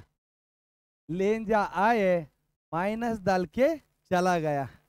ते योगेश जे विद्यार्थ्यांना शिकवलंय त्यांनाच कळल ती लेन ज्या आया मायनस दालके चला गया। ठीक आहे त्यांनाच कळल ते बरोबर आहे? रॉयल बिडकर काय म्हणतंय? ट्वेल्व के लाईव्ह आहेत आणि लाईक कमी सर. आपल्यासाठी मेहनत करता आणि लाईक केलं पाहिजे सर्व मित्रांनी लाईक करूयात. बघा भाऊ तुमचा तुमचा प्रश्न आहे तू त्याच्यावर मी नाही बोलत. जायचं पुढं आता? ठीक आहे? प्रत्येक राजूरकरची एक कमेंट खूप वेळाने येते मला त्याची वाचायची आहे. Students are the stone and teacher are the jeweller Kendre sir makes then diamond अरे बाप रे खतरनाक. स्टुडंट हे दगड. काय? स्टुडंट दगड आहेत आणि टीचर केंद्रे सर हे ज्वेलर आहेत. मग केंद्र सर काय करतात त्या? दगडाला डायमंड बनवतात. तू पण बन रे भैया डायमंड ठीक आहे? जायचं पुढं आता. बघा आता. पाय लागू लागू लागू. पाय लागू. ठीक आहे. जायचं पुढं. तुम्हाला नम्र विनंती घशाकडे पण जरा लक्ष द्या सर. द्यायचंय रे पण आता हे ऍड काही पुन्हा पुन्हा येणार आहे का? दादा. आर्चीचा झिगाट डान्सवर राडा चालला. मी ते सांगितलं होतं त्याच्यावरून ना पाच प्रकारचे मी पॉवर इलेक्ट्रॉनिक्स मधले प्रोटेक्शन खतम केले तर आर्चीचा झिंगाट डान्सवर राडा चालला. प्रतीक भाई रॉक्स बाकी सगळे वासाडे सॉक्स काही लिहिता रे तुम्ही. ल पाल मडे. अय आता जायचं पुढं. चला आता मला हे कशासाठी टाकलं कळलं का रे पिल्ल्यांनो? अरे बाळांनो तुम्हाला हे कळलं? काय? रेसिप्रोकल म्हणजे काय? खाली मुंडक वर पाय. आता तुम्हाला मी रेजिस्टन्स सांगितला. अजून थोडेसे रेसिप्रोकल सांगू का? पर मी शिकवलेले आहेत लेकरांना. ते एकदा कमेंटमध्ये टाका बाकी लोक रेसिप्रोकल सगळे. मला बघायचं किती लोक करताय अभ्यास ते हा?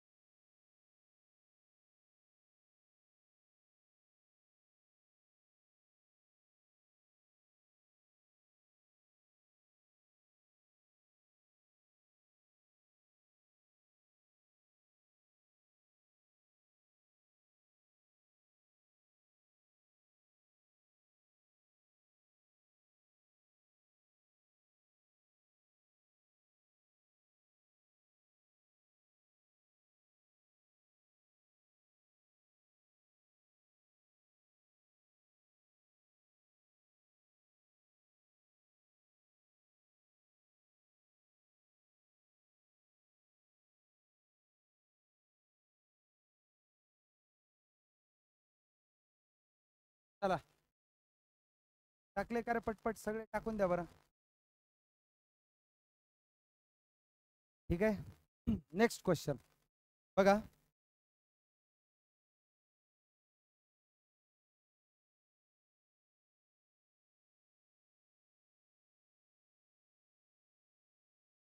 मी पेपर आणलाय बरं का प्रिव्हियस इयरचा तुमच्या परीक्षांमधला. कसे प्रश्न येतात काय येतात ह्याच्यासाठी. अजून आपण ह्याच्यापेक्षा जास्त लेवलचा अभ्यास करूयात. हे बी सगळं करूयात. ह्याच्यापेक्षा आणखी जास्त लेवलचा अभ्यास करूयात. आणि मी शिकवतोय ह्याच्यापेक्षा खूप जास्त पटीनं. ठीक आहे? पण खूपच काही बी फापट पसारा शिकवलं की पालतं होतं बरं का. आणि पालतं नाही होऊ द्यायचं लक्षात ठेवा. आता शिक आपले चांगले दिवस आले आणि त्याच्यात बी कोणी पालतं करीत असेल तर मग नाही चांगलं. चला याचं क्वेश्चन सांगा. Zener diode are design to operate under zener diode हे डॅश डॅश अंतर्गत चालवण्यासाठी डिझाईन केले आहेत. तर जिनर डायोड म्हणजे काय? तुम्हाला ह्याची पण स्टोरी सांगितली होती. ऐका रे. डायओड काय म्हणलं मी? डायोड. डाय म्हणजे बाळांनो दोन. ओड म्हणजे इलेक्ट्रोड इलेक्ट्रोड्स ज्याच्यात दोन इलेक्ट्रोड्स आहेत त्याला त्याच्यात दोन इलेक्ट्रोड्स आहेत त्याला डायोड म्हणायचं. काय म्हणायचं त्याला? डायोड म्हणायचं. त्यातपर्यंत क्लिअर झाला? बर. आता लक्ष द्या मी काय सांगाल बर. आता डायोडचे बरेच प्रकार आहेत. डझनभर प्रकार आहेत. P N junction diode photo diode light emitting diode न diode पाटकी diode tunnel diode varactor diode step recovery diode zener diode त्याच्यानंतर इपिकॅप डायोड त्यालाच व्हॅरिकॅप डायोड म्हणतात. त्यालाच व्हॅरेक्टर डायोड म्हणतात. इथपर्यंत क्लिअर आहे. त्याच्यानंतर लेझर डायोड त्याच्यानंतर पिन डायोड त्याच्यानंतर टनल डायोड अशा प्रकारचे वेगवेगळे डायोड आहेत. तर क्लिअर झाला? हो नाही? बर. आता या ठिकाणी या ठिकाणी इथं विचारलेलं आहे झिनर डायोड. कोणता विचारलाय? Zener diode. मग बाळांनो हा झिनर डायोड आहे तुमचा. पहिले हा डायोड लक्षात ठेवायचा. काय? डायोड लक्षात ठेवायचा. आता मी झिनर डायोडचा कन्सेप्ट बनवून टाकतो. थिनर डायोड आता आपण लोक ज्या वेळेस काहीतरी उलटे कामं करत असतो काय? उलटे उलटे कामं म्हणजे उलट पालट काही बी करत राहतो ना काही कुठाने ज्यावेळेस आपण उलटे कामं करत असतो त्यावेळेस आपल्या घरचे आपल्याला काय म्हणतात? तुझे टंगडेच तुडून हातात देईल. काय करेन? टंगडे तुडून हातात देईल. ते आपल्या आई वडील आपल्याला धमकी देत असतात. का? उलटे कामं आयुष्यात करायचे नाहीत. मुद्दा क्लिअर आहे?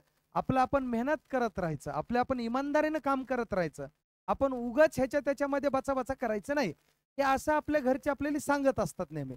बरोबर आहे? म्हणजे उलटे कामं केले की आपल्या घरचे काय म्हणतात? ते टंगडे हातात तोडून देईल याचा अर्थ उलटे कामं केले की टंगडे तोडत असतात. तसा झिनर डायोड जे आहे ना झिनर डायोड तो सुद्धा ना उलटे कामं करतो. कसले कामं करतो? उलटे कामं करतो. मग त्याच्या घरचे त्याचे टंगडेच मोडतात. काय करतात? टंगडेच मोडतात पाय तोडतात.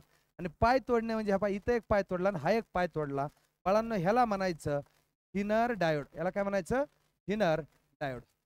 आता मी एकाच शब्दात तुमचे सगळे कन्सेप्ट क्लिअर करून दिले. काय काय? सांगतो. हिनर डायोडचे हिनर डायोड काय करतो? उलटे कामं करतो. उलटे कामं करतो म्हणजे बाळांनो रिव्हर्स बायसमध्ये काम करतो. कसलं बायस? रिव्हर्स बायसमध्ये काम करतो. बर. मग झिनर डायोड उलटे काम करतो म्हणजे रिव्हर्समध्ये काम करतो. म्हणून टेंगडे तोडले म्हणजे सिम्बॉल बी झाला. म्हणजे तुझं सिम्बॉल ओके झाला टकाटकी एकदम. बरोबर आहे? उलट काम करतो म्हणजे रिव्हर्समध्ये काम करतो हेही तुला कळलं? आणि टेंगडे तोडतात म्हणजे तुला उद्या काही विचारलं तर ह्याच्या रिलेटेड आलं पाहिजे. हा आता वापरला सगळ्यात जास्त कुठं जातो ते पण क्लिअर करून देतो बरं का. वापरला जातो व्होल्टेज रेग्युलेटरमध्ये. कशामध्ये? व्होल्टेज रेग्युलेटरमध्ये वापरला जातो. आता बाळांनो तर हे बायस बायस काय भानगडे आपल्याला कळत नाहीत कारण आम्ही आय टी आयला असताना आम्हाला कधी कोणी शिकवलंच नाही. हा प्रॉब्लेम जवळपास बऱ्याच विद्यार्थ्यांचा बरं का. आता काय आहे काय नाही मी तुम्हाला क्लिअर करून देतो. बघा इकडं. इकडं लक्ष द्या.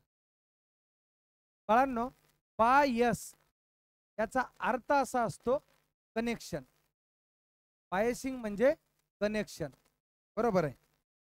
Unbiased unbiased. ते कनेक्शन नसणे. बरं. बायसचं दुसरं एक मिनिंग प्रॉपर मिनिंग तुम्हाला सांगायचं झालं तर बायसिंग म्हणजे बायसिंग म्हणजे एक्सटर्नल बॅटरी जोडणे. काय? एक्सटर्नल बॅटरी जोडणे. त्याला म्हणायचं बायसिंग काय म्हणायचं? बायसिंग आता मुद्दा कळला? बरं. किंवा नाही बॅटरी सर आमच्याकडं? बरं. एक्सटर्नल सप्लाय जोडणे. काय जोडणे? सप्लाय जोडणे. जसा बाहेरून सप्लाय एखाद्या गोष्टीला दिला तर त्याला बायसिंग म्हणायचं. त्याला काय म्हणायचं? बायसिंग म्हणायचं असतं. त्यापर्यंत क्लिअर झालं? बरं. आता जर हा बायसिंग असेल तर ह्याच्यात दोन प्रकारच्या बायसिंग असतात रे बाळांनो. प्रकारच्या दोन प्रकारच्या. एक असते फॉरवर्ड बायसिंग कसली? Forward biasing. दुसरी असते त्याला आपण म्हणत असतो reverse biasing. Biasing? Reverse biasing. बरोबर आहे? बर. आता सर फॉरवर्ड बायसिंग म्हणजे काय हो? इकडं बघ. तुला माहिती तर मी सांगितलं बॅटरी. बॅटरीचं चित्र असं असतं. दिस इज द चित्र ऑफ बॅटरी म्हणजे एक पॉझिटिव्ह टोक आहे एक निगेटिव्ह टोक आहे. आणि पॉझिटिव्ह टोकाला मोठी दांडी म्हणायचं आणि निगेटिव्ह टोकाला छोटी दांडी म्हणायचं. वैभव पाटील म्हणतंय मला उठवलं होतं भाऊ सरांनी डायोड शिकवताना क्लासमध्ये बरोबर आहे वैभव? वा लक्षात आहे अजून. मग फायदा झाला का नाही आज? असं असतं. ठीक आहे. उठवणार ना? तेवढी गर्दी कार गर्दी असती मोठ्या हॉल भरलेला असतो एकदम. आणि तेवढ्या ह्याच्यामध्ये जर एखादं काही अभ्यास करणं झालं आणि ते जर उठलं ना तर बकीट भर अंगातून घाम पडतंय बघा. एक बकीट बाहेर पडतंय बघा घाम. त्याच्यानंतर ते अभ्यासच करून येतं दुसऱ्या दिवशी डायरेक्टली पर्यंत क्लिअर झालं. आता बघा. मग मी तुम्हाला बॅटरी शिकवत होतो किंवा बॅटरीचे कनेक्शन शिक मग हे बॅटरी किंवा ह्याला सेल म्हणू शकता. सिंगल असेल तर सेल आणि अशा ग्रुप ऑफ सेल असतील तर त्याला आपण म्हणतो बॅटरी त्याला काय म्हणत असतो आपण? बॅटरी म्हणत असतो. इथपर्यंत क्लिअर झाला. लक्ष द्या मी काय सांगतोय ती. बरं. आता सर हे काय भानगड आहे नेमकं? बघ इकडं. तुला माहिती की डायोड जो असतो डायोड इथं लिहून देतो बाजूला हा डायोड आहे. डायोड डायोडला ह्या इकडच्या बाजूला ॲनोड म्हणायचं इकडच्या बाजूला कॅथोड म्हणायचं हा पॉझिटिव्ह असतो ना हा बाळा निगेटिव्ह असतो. बरोबर आहे? अनोड पॉझिटिव्ह कॅथोड निगेटिव्ह मुद्दा क्लिअर आहे? बर.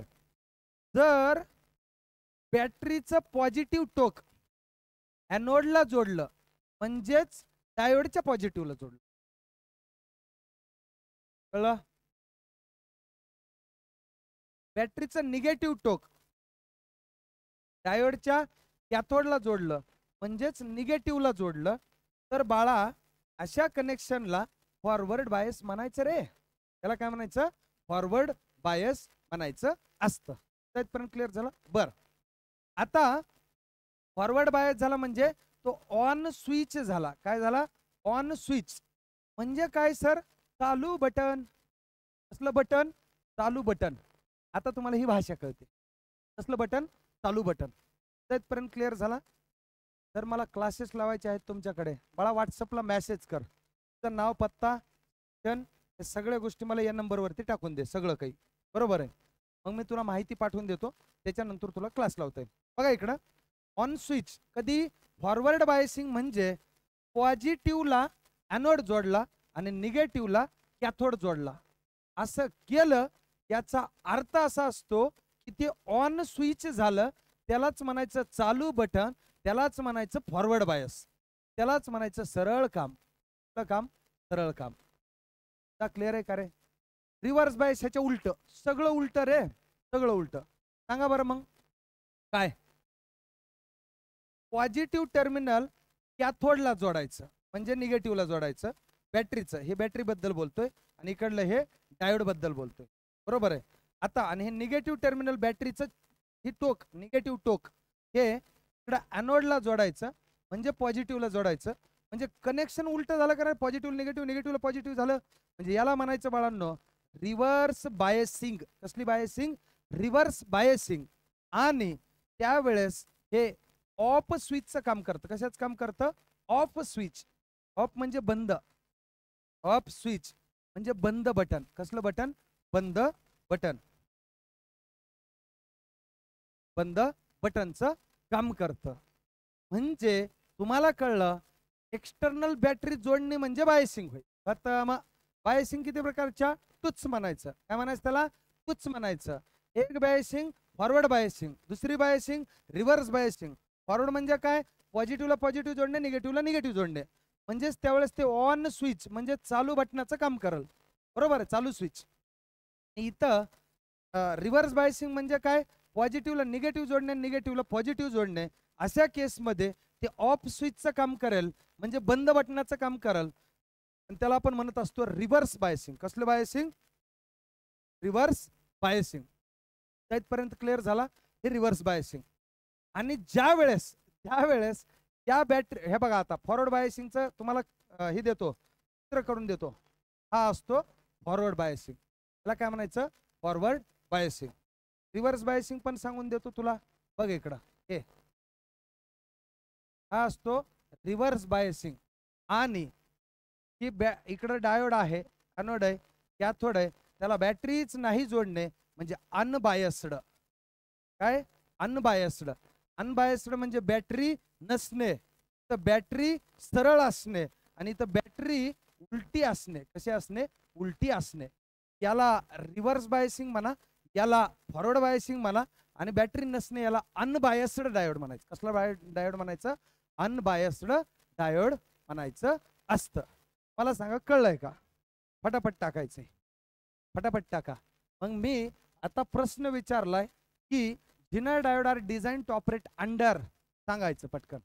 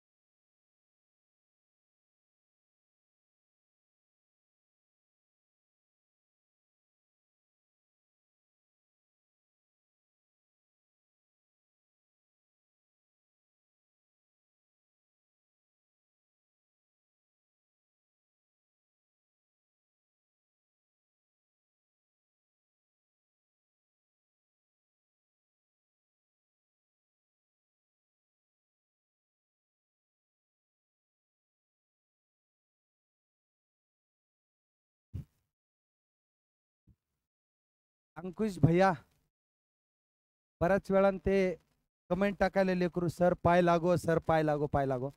बाळा शिकवण्याच्या ओघात लक्ष नाही दिलं रे टेन्शन नको रे घेऊ. लय टेन्शनमध्ये आला राहतो असं नसतंय हा? ठीक आहे. अंकुश तुझं नाव घे. घेतलं ना भाऊ? माझं काय नाव घ्यायचं वय आहे हे? तरी तो नाव घेतलं ना मी आता. ठीक आहे? चला. ठीक आहे? जायचं आता पुढं? जाऊयात पुढं.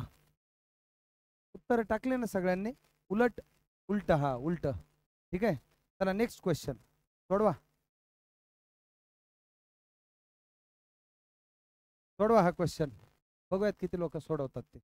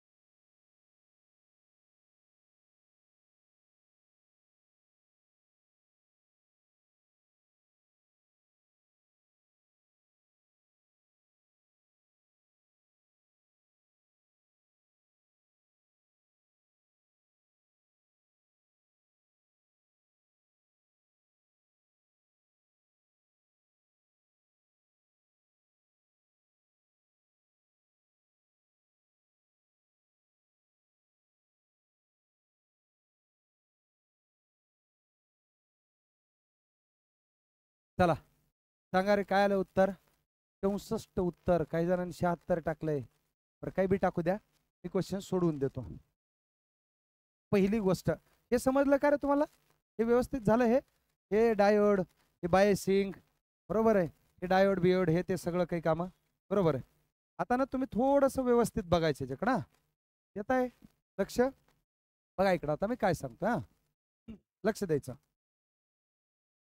क्वेश्चन विचारलेलं आहे डिटरमाइन द एनर्जी म्हणजे एनर्जी काढायची ऊर्जा.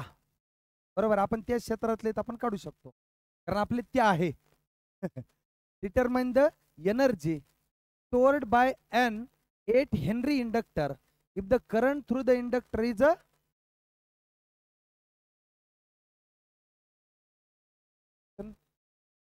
पुरा आहे का रे?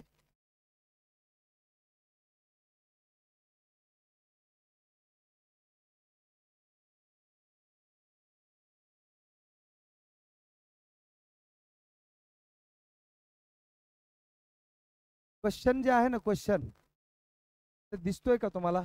पूर्ण?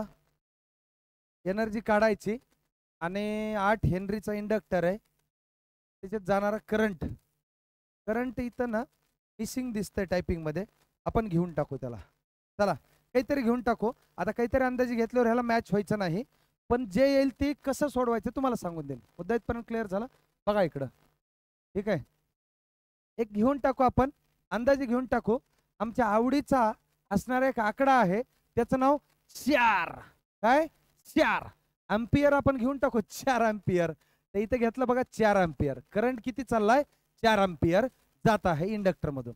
मुद्दा इथपर्यंत क्लिअर झाला? बर. आता बाळांनो एक लक्षात ठेवायचंय. मी तीन सांगत असतो गोष्टी. ब्रह्मा विष्णू आणि महेश. आतापर्यंत आपण महाभारत बघितलं. आता आपण या पृथ्वीचे या सृष्टीचे बरोबर आहे. निर्माता त्याला चालवणारा त्याला डिस्ट्रॉय करणारा हे तिघं बघून टाकू. एक असतो ब्रह्मा दुसरा असतो विष्णू आणि तिसरा असतो महेश. ब्रह्मा विष्णू महेश. बर. तर हे काय असतो? ब्रह्मा म्हणजे रेजिस्टन्स लक्षात घे. विष्णू म्हणजे इंडक्टन्स आणि महेश म्हणजे कॅपॅसिटन्स ब्रह्मा विष्णू महेश. आता लक्ष द्या मी काय सांगतोय. रेजिस्टन्स इंडक्टन्स आणि कॅपॅसिटन्सबद्दल बोलतो टेक्निकली ओके रेजिस्टन्स इंडक्टन्स आणि कॅपॅसिटन्स रेजिस्टन्स हा पॅसिव्ह एलिमेंट आहे. कसला? पॅशिव आपण पॅशिव आहे. आणि हा पण पॅशिव्ह एलिमेंट आहे. तर what is mean by the passive element जो स्वतः एनर्जी तयार करू शकत नाही अशा गोष्टीला आपण त्या ठिकाणी पॅसिव्ह एलिमेंट म्हणत असतो. मुद्दा क्लिअर झाला? त्याला काय म्हणायचं पॅसिव्ह एलिमेंट मुद्दा इथपर्यंत क्लिअर झाला? बर.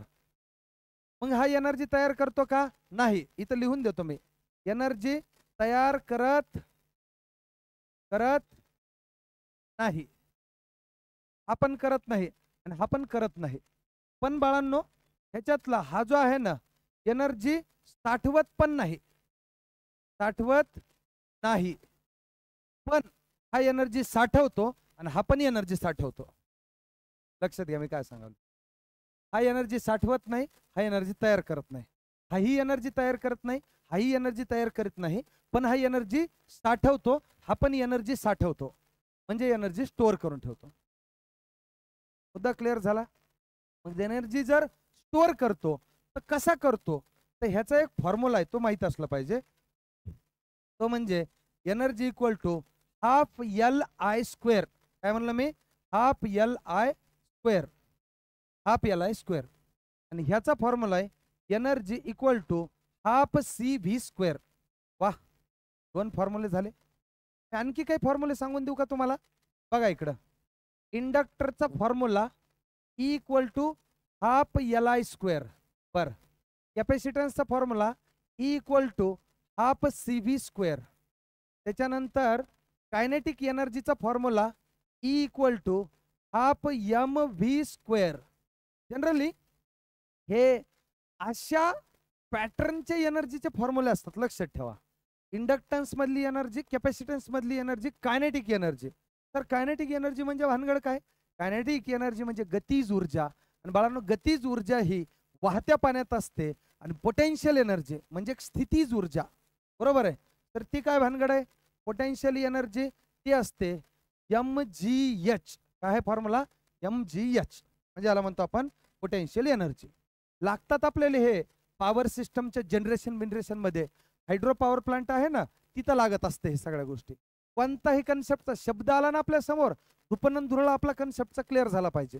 तर क्लिअर आहे हे सगळ्या गोष्टी. बरोबर आहे इथपर्यंत. आता बघा मग इकडं इंडक्टरचा एनर्जीचा फॉर्म्युला कॅपॅसिटरच्या एनर्जीचा फॉर्म्युला आणि कायनेटिक एनर्जीचा फॉर्म्युला आणि potential energy M G H M G H असली मसाले सच सच M G H M G H एक बाबा होते बघा वयस्कर बाबा. एम डी एच मसाल्याचे ऍड करायचे. मी काय म्हणतोय? डी रिप्लेस बाय जी ना. टी काढून टाका जी ने. मग मला सांगा एम जी एच म्हणजे पोटेन्शियल एनर्जी समजलं का तुला? आता जिंदगीपर्यंत ते बाबा होते ना बाबा त्या बाबांचं जेवढं वय होतं ना तेवढ्या वयापर्यंत जाऊ सुद्धा तू हा एम जी एच विसरत नाही कारण तुला ते एम डी एचचं डोक्यात होतं तुया. बरोबर आहे? पोटेन्शियल एनर्जी म्हणजे M G H M G H असली मसाले सच सच M G H M G H ते एम डी एच होतं. आपलं ही एम जी एच आहे. मुद्दा कळला इथपर्यंत? तर माझा सांगण्याचा उद्देश आहे हा पुन्हा आता त्या बाबांच्या वयात गेलो तर आपण तरी पण विसरत नाही खतम कार्यक्रम. मुद्दा क्लिअर झाला? हो नाही? हो नाही? जायचं पुढं? बर. पण प्रश्न सर इकडे हो. या. आता ह्याच्यावरून तर एक गोष्ट कळलं की हा. पॅशिवाय पॅशिवाय पॅशिवाय म्हणजे एनर्जी तयार करत नाही तयार करत नाही तयार करत नाही. तिघाही तयार करत नाहीत. पण हा साठवत सुद्धा नाही. हा साठवतो आणि हा साठवतो एनर्जी हा साठवतो तर ह्या फॉर्म्युल्यात साठवतो. म्हणजे ह्या फॉर्म्युलानुसार आणि हा बी साठवतो तर या फॉर्म्युलानुसार साठवत असतो. मग आता मला सांगा जर मी इथं सांगितलं की हा फॉर्म्युला वापरायचा आहे मग इंडक्टन्स दिलेला बाबी काय काय? बघा मध्ये energy stored in by the eight henry मला हेनरी इंडक्टरचं उत्तर आहे रे युनिट आहे. एट हेनरी बर. आणि इंडक्टिव्ह रिॲक्टन्सचं मगाशी बघित मगाशी बघितलंय ते ओहम आहे. मुद्दा क्लिअर आहे? बर. आणि करंट आहे. करंट किती होता रे? बोल रे. चार एम्पियर आणि विचारलंय काय? एनर्जी स्टोर्ड मला फॉर्म्युला तर सांग. हाफ एल आय स्क्वेअर काय formula half L I square आता इकडं हाफला हाफ ठेवून दे. एल किती आहे रे तुझा? आठ इंटू आय किती आहे रे? चार. आणि त्याचा स्क्वेअर चारचा स्क्वेअर मुद्दा इथपर्यंत क्लिअर आहे? बर. मग वन बाय टू जशाच तरा आठला आठ जशाच तसा आणि चारचा स्क्वेअर सोळा. चारचा स्क्वेअर सोळा. मग आता याला तुम्ही करू शकता कॅल्क्युलेशन बरोबर आहे?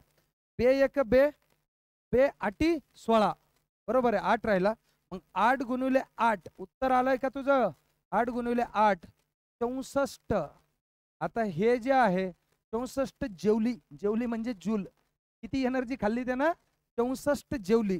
आता हे आपण अंदाजे घेतलाय त्याच्यामुळे ऑप्शनला मॅच होतं का नाही बघ. अरे ऑप्शनला पण मॅच झाला. कदाचित तिथं चार अँपियरच असेल. बरोबर आहे? त्याला चौसष्ट चौसष्ट जूल जूल हे युनिट असतं एनर्जीचं मग जूलच्या ऐवजी मी काय म्हणत असतो चौसष्ट जेवली. किती जेवली? चौसष्ट जेवली. म्हणजे चौसष्ट चपात्या खाल्ल्या तिनं. याचा अर्थ चौसष्ट जूल उत्तर आलेलं आहे तुझं. काय आलंय? चौसष्ट जूल. मुद्दा इथपर्यंत क्लिअर झाला? कोण आहे? कोण आहे? अशा पद्धतीनं तुम्ही ह्याचं उत्तर सोडू शकता. आता हा चार अँपियर दिलेलाच नव्हता तर मिसिंग टायपिंगमध्ये असेल. तर तुम्ही लोक जो येईल ते असू द्या. फॉर्म्युला तर तुला माहिती ना हा पी एल आय स्क्वेअर आहे. ठेवून दे की भाऊ एल तुझ्याकडे आहे. आयची किंमत जी असेल ते ठेवून दे. आणि अशा पद्धतीनं तू ह्याला सोडवू शकतोस. हेही झालं आपलं. आता हा जो आहे मी आपल्या या चॅनलवरती व्हिडिओ टाकलेला आहे. सात प्रकारचे गेट खतम करून टाकले तर कोणते कोणते सात प्रकारचे? Gates logic gates I T आयच्या लेकरांना कंपल्सरी येतं रे ह्याच्यावरती क्वेश्चन एक एक. तीन प्रकारचे. एक असतं बेसिक आपल्या चॅनलवरती आहे हा व्हिडिओ कंप्लीट व्हिडिओ बघून घ्यायचा. ठीक आहे? दुसरा असतात युनिव्हर्सल आणि तिसरा असतात तिसरा असतो त्याला तुम्ही म्हणू शकता special purpose special purpose logic gates बाळांनो लक्ष द्यायचं आहे बेसिक लॉजिक गेट तीन प्रकारचे. एक अँड असतो. दुसरा ऑर असतो. आणि तिसरा नॉट असतो नॉट आता अँडचं आणि नॉटचं कॉम्बिनेशन केलं की ह्याच्यातला पहिला बनतो त्याचं नाव नॅन्ड त्याचं नाव नॅन्ड आणि दुसरा ऑरचं आणि नॉटचं कॉम्बिनेशन केलं त्याचं नाव नॉर त्याचं नाव नॉर स्पेशल पर्पजमध्ये पुन्हा पहिला एक्स ऑर आहे आणि दुसरा एक्स नॉर आहे. मी आता ह्याला सात प्रकारचे नावं सांगितले कशात काय असतंय? क्लासिफिकेशन करून दिलं. हे सगळं डिटेलमध्ये शिकवलंय. याच चॅनलवरती किंवा आपलं एक आय टी आयचं एक स्पेशल चॅनल सुद्धा आहे. त्या चॅनलवरती कुठंतरी याच्या रिलेटेडचा तुम्हाला व्हिडिओ सापडून जाईल. तो व्हिडिओ शंभर टक्के बघा. शंभर टक्के एक दोन प्रश्न म्हणजे एक प्रश्नाला तर दोन पॉईंट दोन मार्क ट्रान्स्कोचे दोन प्रश्न आले तर चार पॉईंट चार मार्क जे असेल ते तुम्ही तिथून बघून घेऊ शकता. मी सध्या ह्याचं उत्तर सांगून देतो. बाळांनो हा मी ऑर पहिले शिकवतो म्हणजे मग तुम्हाला एक्स ऑर कळेल. बघ इकडं. हा असतो. याला म्हणायचं ऑर गेट याला काय म्हणायचं? ऑर गेट आता एक्स ऑर काय भानगड आहे सर? एक एक्स्ट्रा ऑर आलेला असतो त्याला एक्स ऑर म्हणायचं. एक काय असतो? एक्स्ट्रा ऑर असतो. त्याला एक्स ऑर म्हणायचं. मग हा जो आहे ना हे असा हे असा एक असतो ना अजून एक असतो. म्हणून त्याला एक्स एक्स ऑर हा ऑर आहे ना वरचा ऑर आणि हा एक्स म्हणजे काय रे? एक्स्ट्रा ऑर एक्स्ट्रा एक्स्ट्रा म्हणजे एक जास्तीचा. बरोबर आहे? एक्स्ट्रा म्हणजे जास्तीचा. हा घेतला. मुद्दा क्लिअर झाला इथपर्यंत? बर. आणि हा इथं घ्यायचा. इथं. हा. हा आहे तुझा एक्स ऑर बाळा तुला जर इथं जर बबलू काढला ना बबलू तर हा एक्स नॉर होतो. पण आपला तो बबलू पण नाही तिथं. बबलू म्हणजे बबल. बबल. बरोबर आहे? तो नॉट गेट असतो त्याचा अर्थ. मुद्दा क्लिअर झाला इथपर्यंत? मग मी लॉजिक सांगितलं होतं जहा पे बबलू वहा पे बार. जिथं जिथं बबलू तिथं तिथं बार. जहा जहा बबलू वहा वहा बार. मी लॉजिक सांगितलं होतं. युट्यूबला व्हिडिओ आहे आपला या चॅनलला किंवा आय टी आयच्या चॅनलला ठीक आहे? त्यातपर्यंत क्लिअर झाला. या अशा पद्धतीनं हे तुम्हाला कळलं पाहिजे. चला त्याचं उत्तर काय आहे रे बाळांनो? यक्स ऑर काय म्हणायचं? चला यक्स ऑर हा आहे बघा तुमचा यक्स ऑरचं त्या ठिकाणी उत्तर त्याचं आलं यक्स ऑर.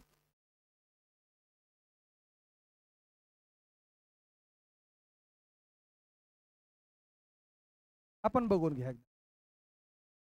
लक्ष द्यायचंय मी काय शिकवतो? Electrodynamometer instrument measures. ऐका वेगवेगळ्या प्रकारचे इन्स्ट्रुमेंट्स असतात.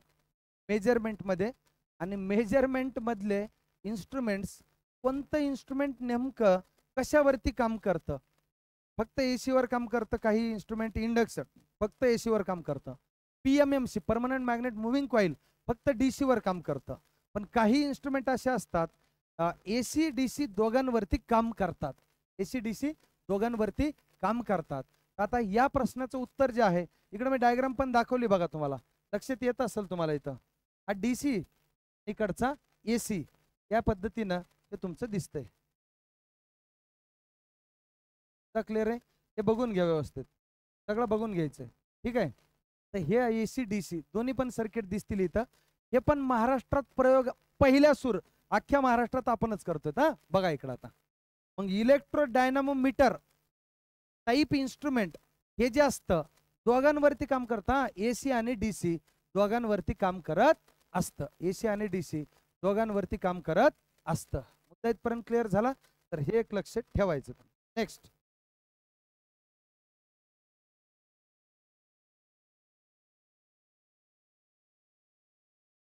सगळेजण बारीक इकडे लक्ष द्या रे. हे काय आहे? इकडे बघा. न्यूट्रल हे इथं लाईव्ह दिसतंय आणि हे इथं अर्थिंग दिसतंय. हे काय दिसतंय? अर्थिंग आपल्या घरामध्ये आपण कित्येकदा हे बघितलेलं असतं बरोबर आहे? प्रश्न असाच आलेला आहे परीक्षेमध्ये. मला तो माहीत झाला पाहिजे कळला पाहिजे. काय प्रश्न? तीन pin socket has the largest hole of आता हे जे दिसायले ते पिन दिसायले पिन सॉकेटबद्दल प्रश्न आहे. सॉकेट तर शॉकेटला म्हणजे असे तीन छिद्र असतात ना तिथं. इथं एक छिद्र आहे इथं एक छिद्र आहे आणि इथं वरचं जे असतं ते असं लांब असतं. लांब आणि मोठं असतं जाडीला. बरोबर आहे? आता ते तसे छिद्र दिसण्यापेक्षा हे तीन छिद्र दिसत आहेत हे होल दिसत आहेत या तीन छिद्रांना इथं असं पकडायचं आणि इथं लिहून देतो तुम्हाला. थांबा. इथं एक छिद्र आहे इथं एक छिद्र आहे आणि इथलं हे मोठं असतं आणि लांब असतं जरा. बरोबर आहे?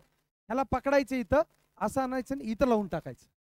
मग त्याने प्रश्न काय विचारला कळलं का तुम्हाला? प्रश्न काय विचारला कळलं का? एम आय डी सीला पण हा प्रश्न आला होता सर. भैया परीक्षेमध्ये शेहेचाळीस प्रश्न आतापर्यंत आलेले रेकॉर्ड आहे महाराष्ट्रात. पण पन्नास पैकी शेहेचाळीस प्रश्न येतात आपण शिकवलेल्या जी आता तर अनुभव अजून वाढलेला आहे अजून जास्त येऊ शकतात. तर क्लिअर झाला? तर क्लिअर झाला? तर आता सांगा मला तीन pin socket has largest hole of म्हणजे तीन पिन सॉकेटमध्ये सर्वात मोठे छिद्र डॅशचे असते कशाचे असते? उत्तर काय येईल रे बाळांनो? याचं उत्तर येईल अर्थिंग. काय येईल याचं उत्तर? अर्थिंग. तुम्हाला इथं जर असं लक्षात येत नसेल तर मी ना त्याला इकडं दाखवतो. इकडं बघा. हे नावं चमकायलेत का तुम्हाला इथं? याच्यावर दिसतंय का? हे पिनवरती बारीक बघा रे. हे मी आपण नवीन आणलेला थिक अँड लॉंग असतं. थिक म्हणजे जाड असतं आणि लॉंग म्हणजे लांब असतं. ही पिन ओके? आणि शॉकेटबद्दल बोलायचं झालं तर हे शॉकेट असं असणार. बरोबर आहे? ही पिन आहे आणि हे शॉकेट आहे. बरोबर आहे?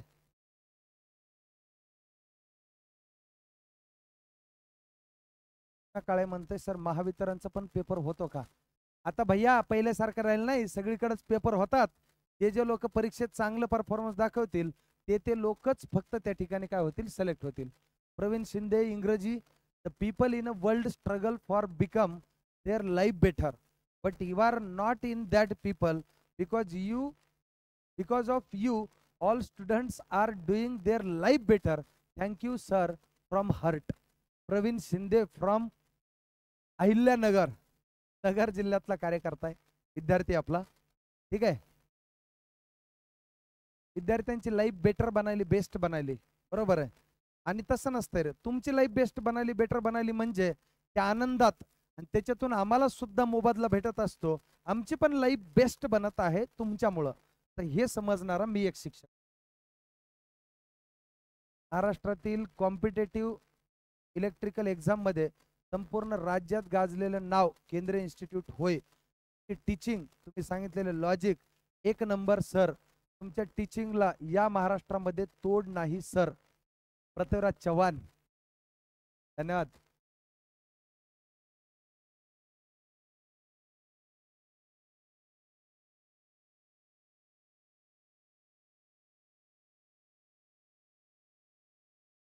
झालंय?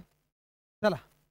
नेक्स्ट हे बघून घ्या रे व्यवस्थित एकदा. ओके क्वेश्चन भरपूर बनू शकतात त्याच्यावरती. मी तुम्हाला बनवून सांगितले तर. नेक्स्ट जायचं मुद्द्यावर दुसऱ्या? पुढच्या.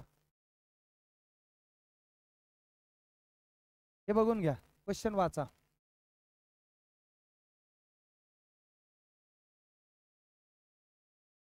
तर तुमचा आवाज ऐकला की कॉन्फिडन्स वाढतो. स्टडी करताना आणि एम सी क्यू टॅकल करताना खूप इझी जाते. धन्यवाद. विशाल सावंत. शिव शांत चपटे म्हणते आपला विद्यार्थी तो.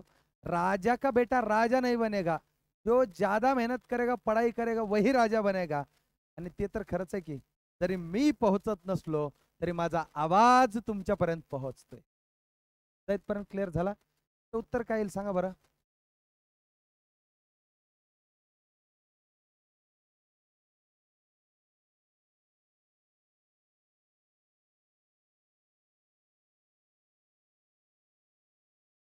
तीन पॉइंट तीन म्हणजे तीन पॉइंट नाही तो तिसरा ऑप्शन आहे.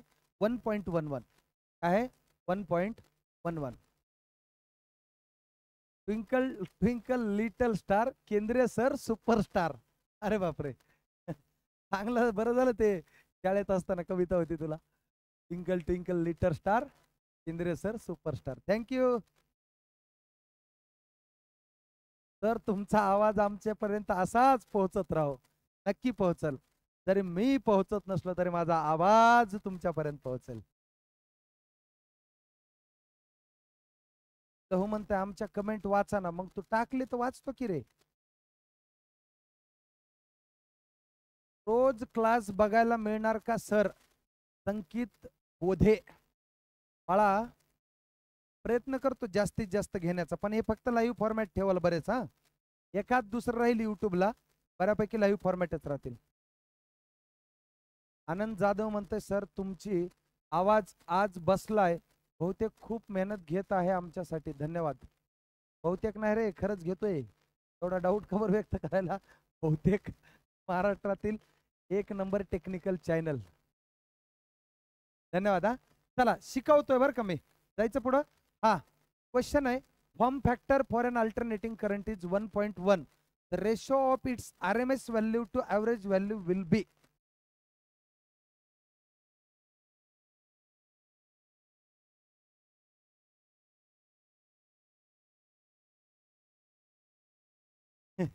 त्याचं उत्तर बी त्याने प्रश्नातच दिलेलं आहे परीक्षेतलाच प्रश्न आहे. उत्तर आणि प्रश्न दोन्ही पण दिलेले त्याने. तर कसं काय आम्हाला नाही कळलं बरं. मी सांगतो ना मी कशाला आहे? बघ इकडं. मी शिकवत असताना वेगवेगळे फॅक्टर शिकवतो. काय काय शिकवत असतो सांगतो इथं ह्याच्या अगोदर. सगळ्या लेकरांना येत आहे आमच्या हे. Half cycle. त्याच्यानंतर सायकल सायकल. त्याच्यानंतर फ्रिक्वेन्सी. त्याच्यानंतर टाइम पिरियड. ठीक आहे? त्याच्यानंतर इन्स्टंटेनियस व्हॅल्यू. त्याच्यानंतर आर मॅक्सिमम व्हॅल्यू. त्यालाच पीक व्हॅल्यू म्हणत असतो. त्यालाच ॲम्प्लिट्यूड म्हणत असतो. त्याच्यानंतर त्याच्यानंतर आर एम एस व्हॅल्यू. ठीक आहे? त्याचंच नाव असतं व्हर्च्युअल व्हॅल्यू व्हर्च्युअल व्हॅल्यू हे शिकवत असतो. त्याच्यानंतर ॲव्हरेज व्हॅल्यू ॲव्हरेज व्हॅल्यू हे सगळं झालं. हे सगळं व्यवस्थित झाल्यानंतर फॉर्म फॅक्टर म्हणजे के एफ आणि पिक फॅक्टर म्हणजे के पी हे दोन शिकवत असतो. मी फॉर्म फॅक्टर शिकवला होता. फॉर्म फॅक्टर म्हणजे कफरा. काय? कफरा. तर what is कफरा? K F R upon A इकडं बघ. व्हॉट इज कफरा सांगतो? कफरा. हे लॉजिक दिलं होतं कफरा. अख्ख्या महाराष्ट्राला लॉजिक पाठ आहे. बरोबर आहे? कफरा. आणि मग व्हॉट इज आर तर आर म्हणजे R M S value upon A म्हणजे ॲव्हरेज व्हॅल्यू मग हा form factor one point one one दिलाय. तर R M S value upon average value काय येईल? तर उत्तर बाळांनो वन पॉईंट वन वनच येईल. काय येईल? वन पॉईंट वन वन येईल. कशामुळं? आता सांगितच दिलंय ना. Form factor one point one one आहे. Ratio of R M S value to average value म्हणजे आर एम एस व्हॅल्यू आणि ॲव्हरेज व्हॅल्यूचा रेशो विचारलाय. अरे बाळांनो R M S value average व्हॅल्यूचा ratio म्हणजेच फॉर्म फॅक्टर असतो ना. कफरा सांगितलं ना तुला मी कफरा. के एफ म्हणजे फॉर्म फॅक्टर आर म्हणजे आर एम एस ए म्हणजे ॲव्हरेज आर एम एस आपण ॲव्हरेज हाच वन पॉईंट वन वन दिलाय तर ह्यांचा रेशो पण वन पॉईंट वन वनच येईल ना. This is called as form factor यालाच काय म्हणत असतो? फॉर्म फॅक्टर त्यातपर्यंत क्लिअर झाला? हो नाही?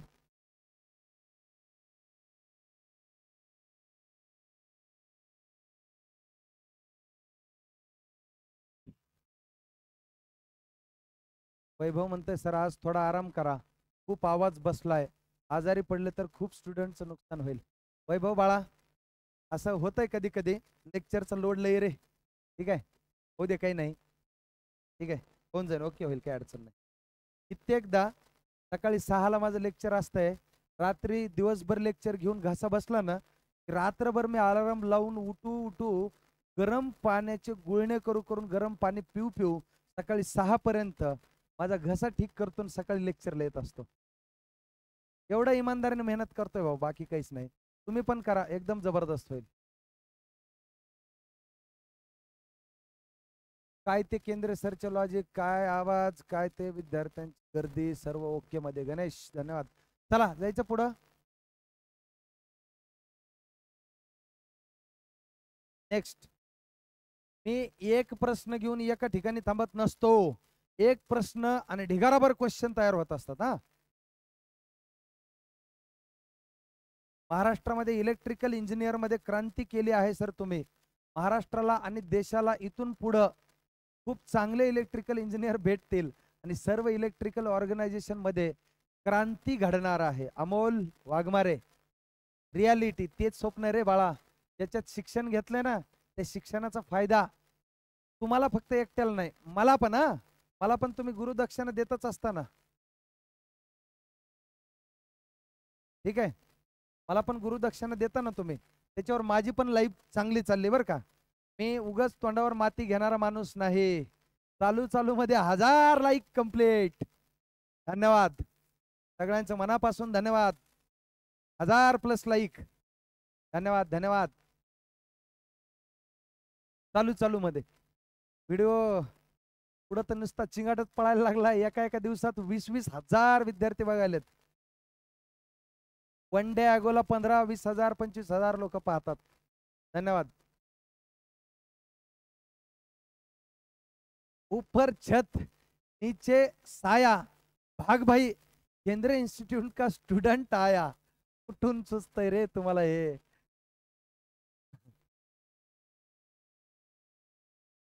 जायचं?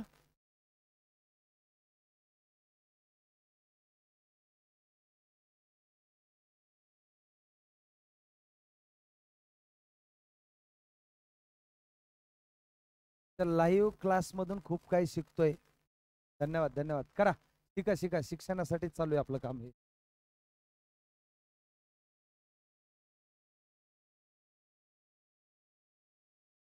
महाराष्ट्रात हे नवीन क्रांती आणायला होतं आपण हा?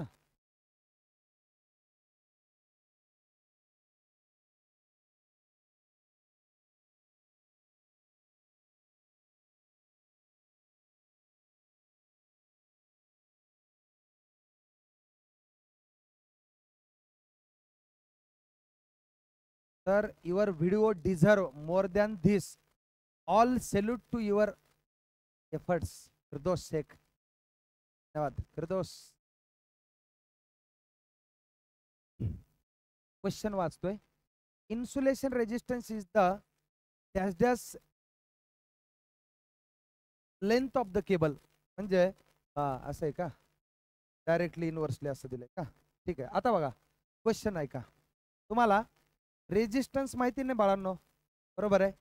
रेजिस्टन्स बघा इकडं रेजिस्टन्स एक फॉर्म्युला आहे. रेजिस्टन्सचा फॉर्म्युला काय आहे?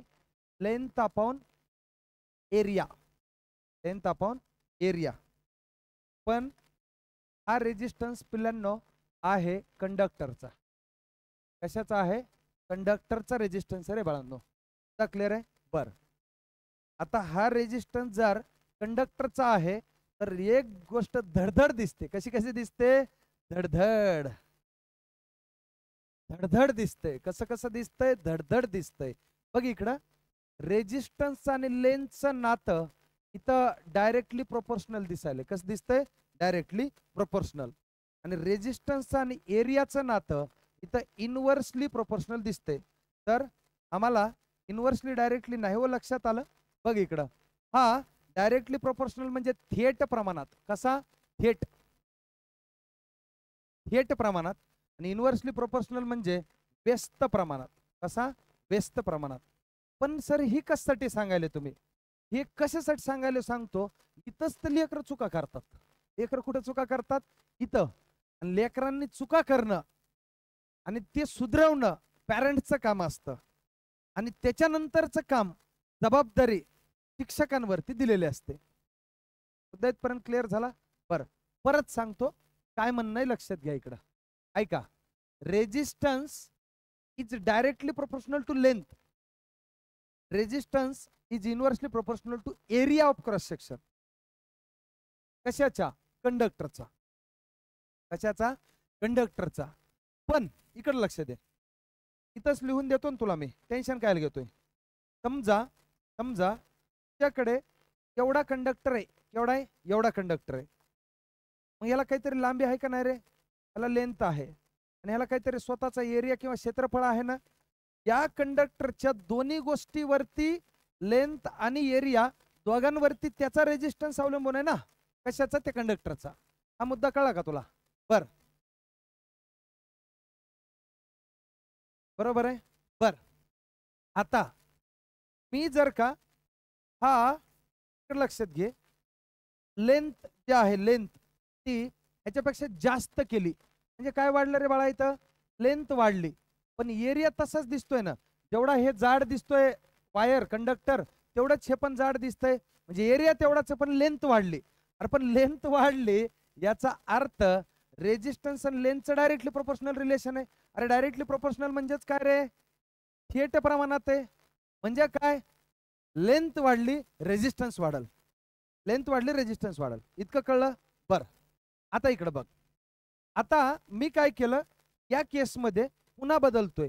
लेंथ तेवढीच ठेवली आणि एरिया जो आहे ना थोडा वाढवला. मला सांग तुला दिसतानाच दिसतंय का रे इथं? याचा एरिया थोडासा जास्त झाल्यासारखा. अरे ह्याच्यापेक्षा जाड वायर दिसायला का नाही?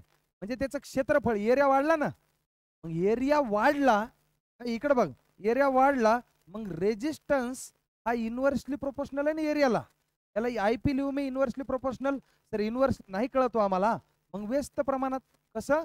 व्यस्त प्रमाणात. व्यस्त म्हणजे रे एरिया वाढला रेजिस्टन्स कमी होईल. एरिया कमी झाला रेजिस्टन्स वाढेल. म्हणजे असं. कसं? असं. कळाला? बर. हे असं आहे. पण हे सगळी धडपड कशासाठी चालू आहे? कंडक्टर हे कशाचं आहे? कंडक्टर ऐका कशाचं आहे हे? कंडक्टर सर म्हणजे काय हो? अरे बाळा वाहक. बरं एवढं धडपडीनं का सांगतोय? रिझन आहे की हे सगळ्या दुनियाला माहीत असतंय. बरोबर आहे? बट दुनिया डोंट वॉन्ट एनी रिझन्स दुनिया वॉन्ट ओनली रिझल्ट रिझल्ट लागतात दुनियाला. आणि अख्ख्या महाराष्ट्रात केंद्रीय इन्स्टिट्यूटचे वर्षानुवर्षापासून सगळ्यात जास्त निकाल आहेत. आम्ही नाही आमचे निकालच बोलतात. आता वाहक आहे कंडक्टर बद्दलचा हा पसारा सांगितला. आता तुला प्रश्न कंडक्टरचा विचारलाच नाही. तुला प्रश्न विचारला इन्सुलेशन रेजिस्टन्स म्हणजे इन्सुलेटरच्या रेजिस्टन्सबद्दल विचारलाय. तुला एकच गोष्ट सांगतो. एकच गोष्ट सांगतो. तुला माहीत असलं पाहिजे की याच्या एक्झॅक्टली उलट काम करतं ते म्हणजे इन्सुलेटर रेजिस्टन्स गजानन म्हणतंय तिरुपती मधून लेक्चर करतोय सर गजानन बालाजी महाराजांना तिरुपतींना माझा नमस्कार सांग. मी पण दर्शन घेतो. आणि धन्यवाद तू इतक्या दुरून सुद्धा माझी आठवण काढतोयस. थँक्यू अरे मला त्या दिवशी लय भारी वाटलं बरं का. एक विद्यार्थ्याचा फोन आला ऑस्ट्रेलियातून लेक्चर करायला ती ऑस्ट्रेलियातून. मला लय भारी वाटलं लय भारी वाटलं. त्याचा फोन आला होता. तो असल इंडियातला महाराष्ट्रातला पण तो तिकडे गेलेला आहे. आणि पॅरेंट्स फॅमिली तिकडे काही दिवसासाठी गेलेले असेल अभ्यास करत असेल तो तिथं बसून. आणि तिथून रिटर्न येऊन तो परीक्षा देणार असेल असं काय असेल तेच त्याला माहिती. त्याचा फोन आला तो मला म्हणतो तर मी ऑस्ट्रेलियातून लेक्चर करतोय. आणि ऑस्ट्रेलियातून तुमचं युट्यूबवरती पण पाहत असतो सगळ्या गोष्टी पाहतो. एवढं भारी वाटलं मला. एकदम खतरनाक वाटलं एकदम भारी. बरोबर आहे? अख्ख्या जगात पसरतय हळूहळू. बरोबर आहे? आता हे सांगितलं कंडक्टर त्याला म्हणायचं वाहक. मग वाहकाच्या बाबतीत हे असं आहे वाहकाच्या बाबतीत काय आहे? असं आहे. क्लिअर झाला? राम भक्त काय म्हणते? बंद झाले वाईन. शॉप कुठेच मिळत नाही खंबा. केंद्रे सर आमच्यासाठी शिंबा ए काही पण हा. तुला काय लागतो खंबा? येडपाट्या. राम भक्त शुभम. बंद झाले वाईन शॉप कुठेच मिळत नाही खंबा. केंद्रे सर आमच्यासाठी शिंबा काही फेकता रे तुम्ही. काही लिहिता पण. लय खतरनाक डोकं आहे तुमचं. चला. आता हा कळला का रे? हे सगळं काही कळलं? हो नाही हा आहे कंडक्टरच्या बाबतीत. या का शब्दात तुझं इन्सुलेटर क्लिअर होतंय. इन्सुलेटर ह्याच्या उलट असतं. कसं असतं? उलट असतं. उलट कळतंय का? उलट उलट ह्याला म्हणायचं की इन्सुलेशन रेजिस्टन्स म्हणजे आय आर न दाखवतो हा असा घ्यायचा. सरळ सरळ असा घेऊन टाक. म्हणजे ए उलट म्हणजे रेसी प्रोकल म्हणजे काय? खाली मुंडक वर पाय. मगाशी सांगितलं तुला हाय. मग इथं रेजिस्टन्स असेल तर इन्सुलेशन रेजिस्टन्स ह्याच्या उलटा असेल. परीक्षेत प्रश्न थोडासा वेगळा विचारलाय. इन्सुलेशन रेजिस्टन्स लेंथला कसा आहे? बाळा तुला कळलं असेल तो इनवर्सली प्रोपोर्शनल आहे. ऑप्शन तीन. मला एवढं फक्त ह्याचं उत्तर सांगून पुढं बी जाता आलं असतं. एवढा पापट पसारा करायचीही गरज नव्हती. पण बाळांनो ह्याच्यातून भरपूर प्रश्न तुझे तयार झाले ना रे? झाले का नाही तुझे भरपूर प्रश्न तयार? कोण आहे क्लिअर झाला? अशा पद्धतीनं असतं हे. इथपर्यंत क्लिअर झाला? चलो. तर आता एकंदरीत इतके क्वेश्चन्स तुमचे घेतले आणि हे क्वेश्चन्स किती झाले ह्याच्यापेक्षा ह्याच्यावरती कन्सेप्ट किती झाले मी आज या घडीला सांगतो. साधारण दोन तासाच्या आसपास गेला असेल हे लेक्चर असं मला वाटतंय. आणि या दोन तासाच्या आसपास लेक्चरमध्ये नाही म्हणलं तरी दीड दोनशे कन्सेप्ट दोनशे प्रश्न तुमचे मजाक मजाकमध्ये हसत हसत खेळत खेळत डान्स करत करत क्लिअर होऊन जातील. कार्यक्रम ओके झाला. इथपर्यंत कळलंय सगळं. पुन्हा एकदा सर्वांना विनंती आहे सगळ्यांना लेक्चर कसं वाटलं? शंभर टक्के. तुम्ही हे व्हिडिओ संपल्यानंतर व्हिडिओला पुन्हा चालू करा आणि कमेंट बॉक्स बॉक्समध्ये टाका. फीडबॅक द्यायला विसरू नका. रात्र दिवस स्ट्रगल तुमच्यासाठी चालू आहे. जो खरा फीडबॅक आहे तो द्या. म्हणजे मी तुमचे फीडबॅक वाचल.